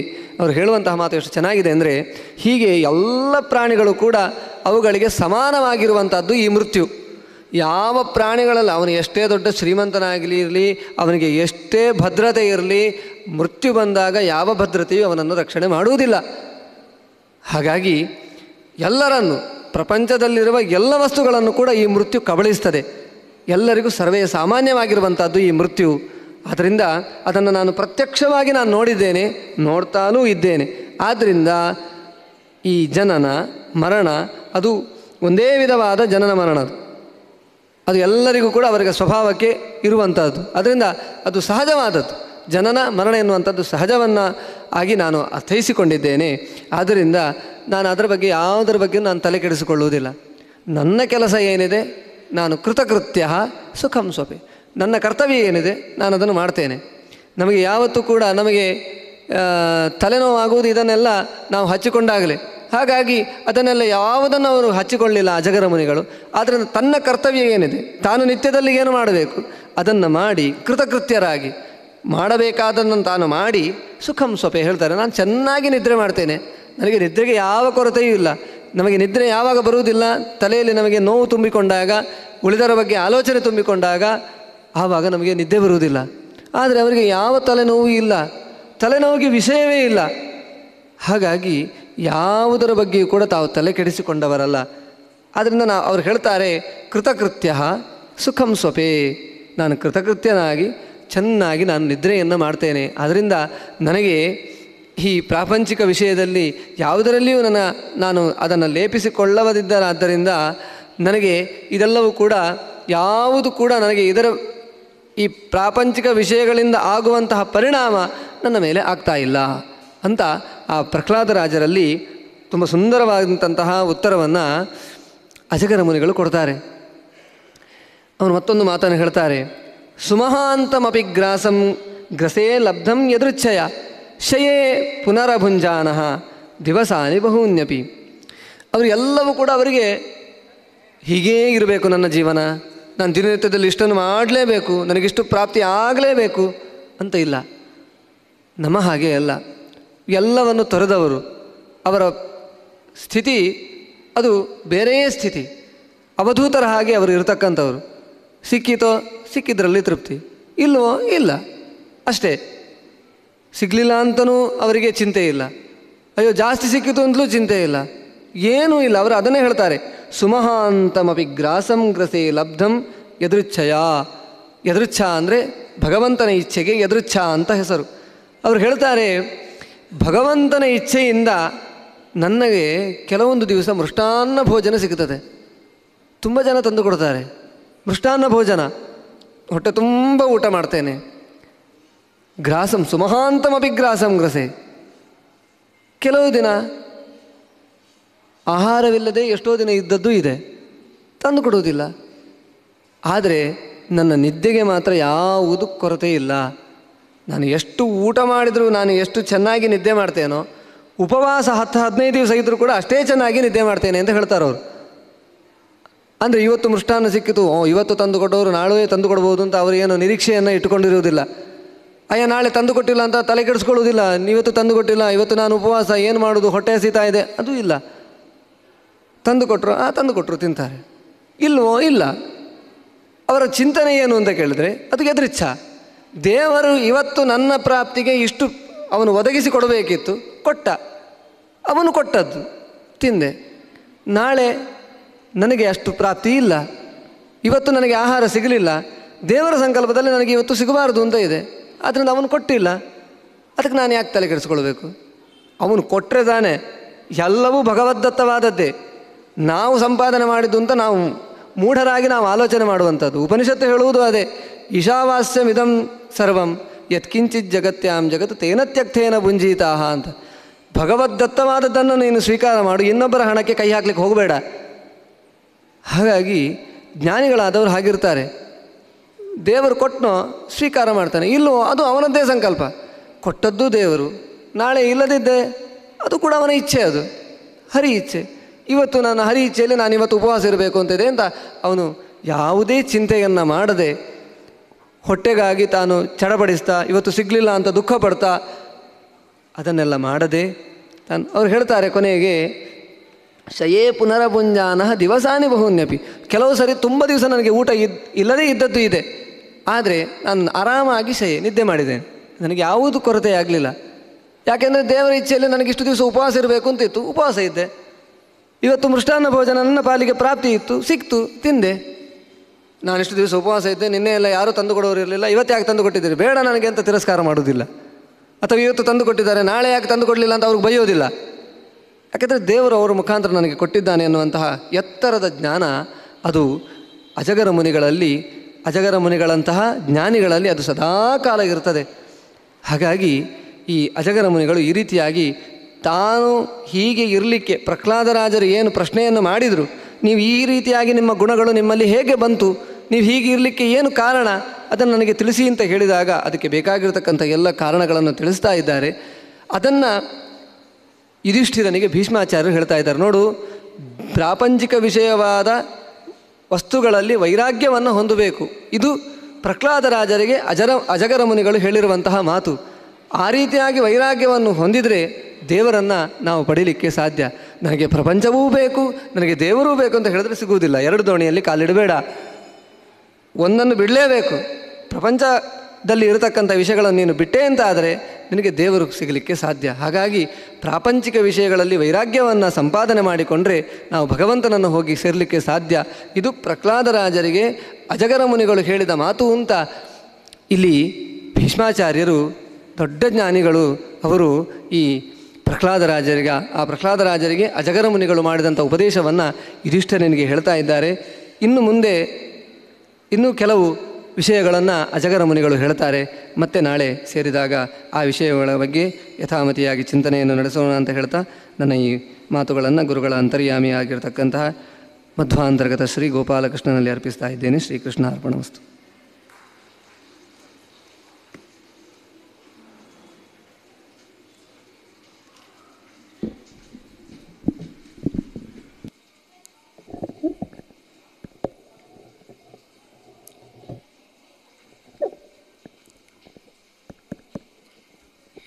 ಪರ್ಯಾಯ ಶ್ರೀ ಮಠದ ಆಶ್ರಯದಲ್ಲಿ ನಡೆಯುತ್ತಿರುವ ನಿರಂತರ ಜ್ಞಾನ ಯಜ್ಞ ಸರಣಿಯ ಇಂದಿನ ಪ್ರವಚನ ಮಾಲಿಕೆಯನ್ನು ಮುಗಿಸಿಕೊಟ್ಟ ಕಲ್ಮಂಜ ವಾಸುದೇವೋಪಾಧ್ಯಾಯರಿಗೆ ಮಠದ ವತಿಯಿಂದ ಅನಂತ ಅನಂತ ಧನ್ಯವಾದಗಳನ್ನು ಸಮರ್ಪಿಸುತ್ತಾ, ಇದೀಗ ಮಠದ ವತಿಯಿಂದ ನಡೆಯುವ ಸಾಂಸ್ಕೃತಿಕ ಕಾರ್ಯಕ್ರಮಗಳ ಅಂಗವಾಗಿ ಇಂದು ರಾಧಾಕೃಷ್ಣ ನೃತ್ಯ ನಿಕೇತನ ಉಡುಪಿ ಇವರು ಪ್ರಸ್ತುತಪಡಿಸುವ ನೃತ್ಯಾರಾಧನಾ ಎಂಬ ಅವರ ಮೂವತ್ತನೇ ವರ್ಷದ ಕಾರ್ಯಕ್ರಮದ ಎರಡನೆಯ ತಿಂಗಳಿನ ಕಾರ್ಯಕ್ರಮ ಇದೀಗ ನಡೆಯಲಿದೆ. ವಿದುಷಿಯರಾದ ಗಾಯತ್ರಿ ಅಭಿಷೇಕ್ ಶ್ರೀ ಕಲ್ಯಾಣಿ ಪೂಜಾರಿ ಹಾಗೂ ಶ್ವೇತಾ ಅನಂತ ಹೆಬ್ಬಾರ್ ಇವರಿಂದ ಭರತನಾಟ್ಯ ಕಾರ್ಯಕ್ರಮವು ಇದೀಗ ಕೆಲವು ಸಮಯದಲ್ಲಿ ಶುರುವಾಗಲಿದೆ. ಕಲಾಸಕ್ತರೆಲ್ಲರೂ ಇದ್ದು ಅವರನ್ನು ಪ್ರೋತ್ಸಾಹಿಸಬೇಕಾಗಿ ಕೇಳಿಕೊಳ್ಳುತ್ತೇವೆ.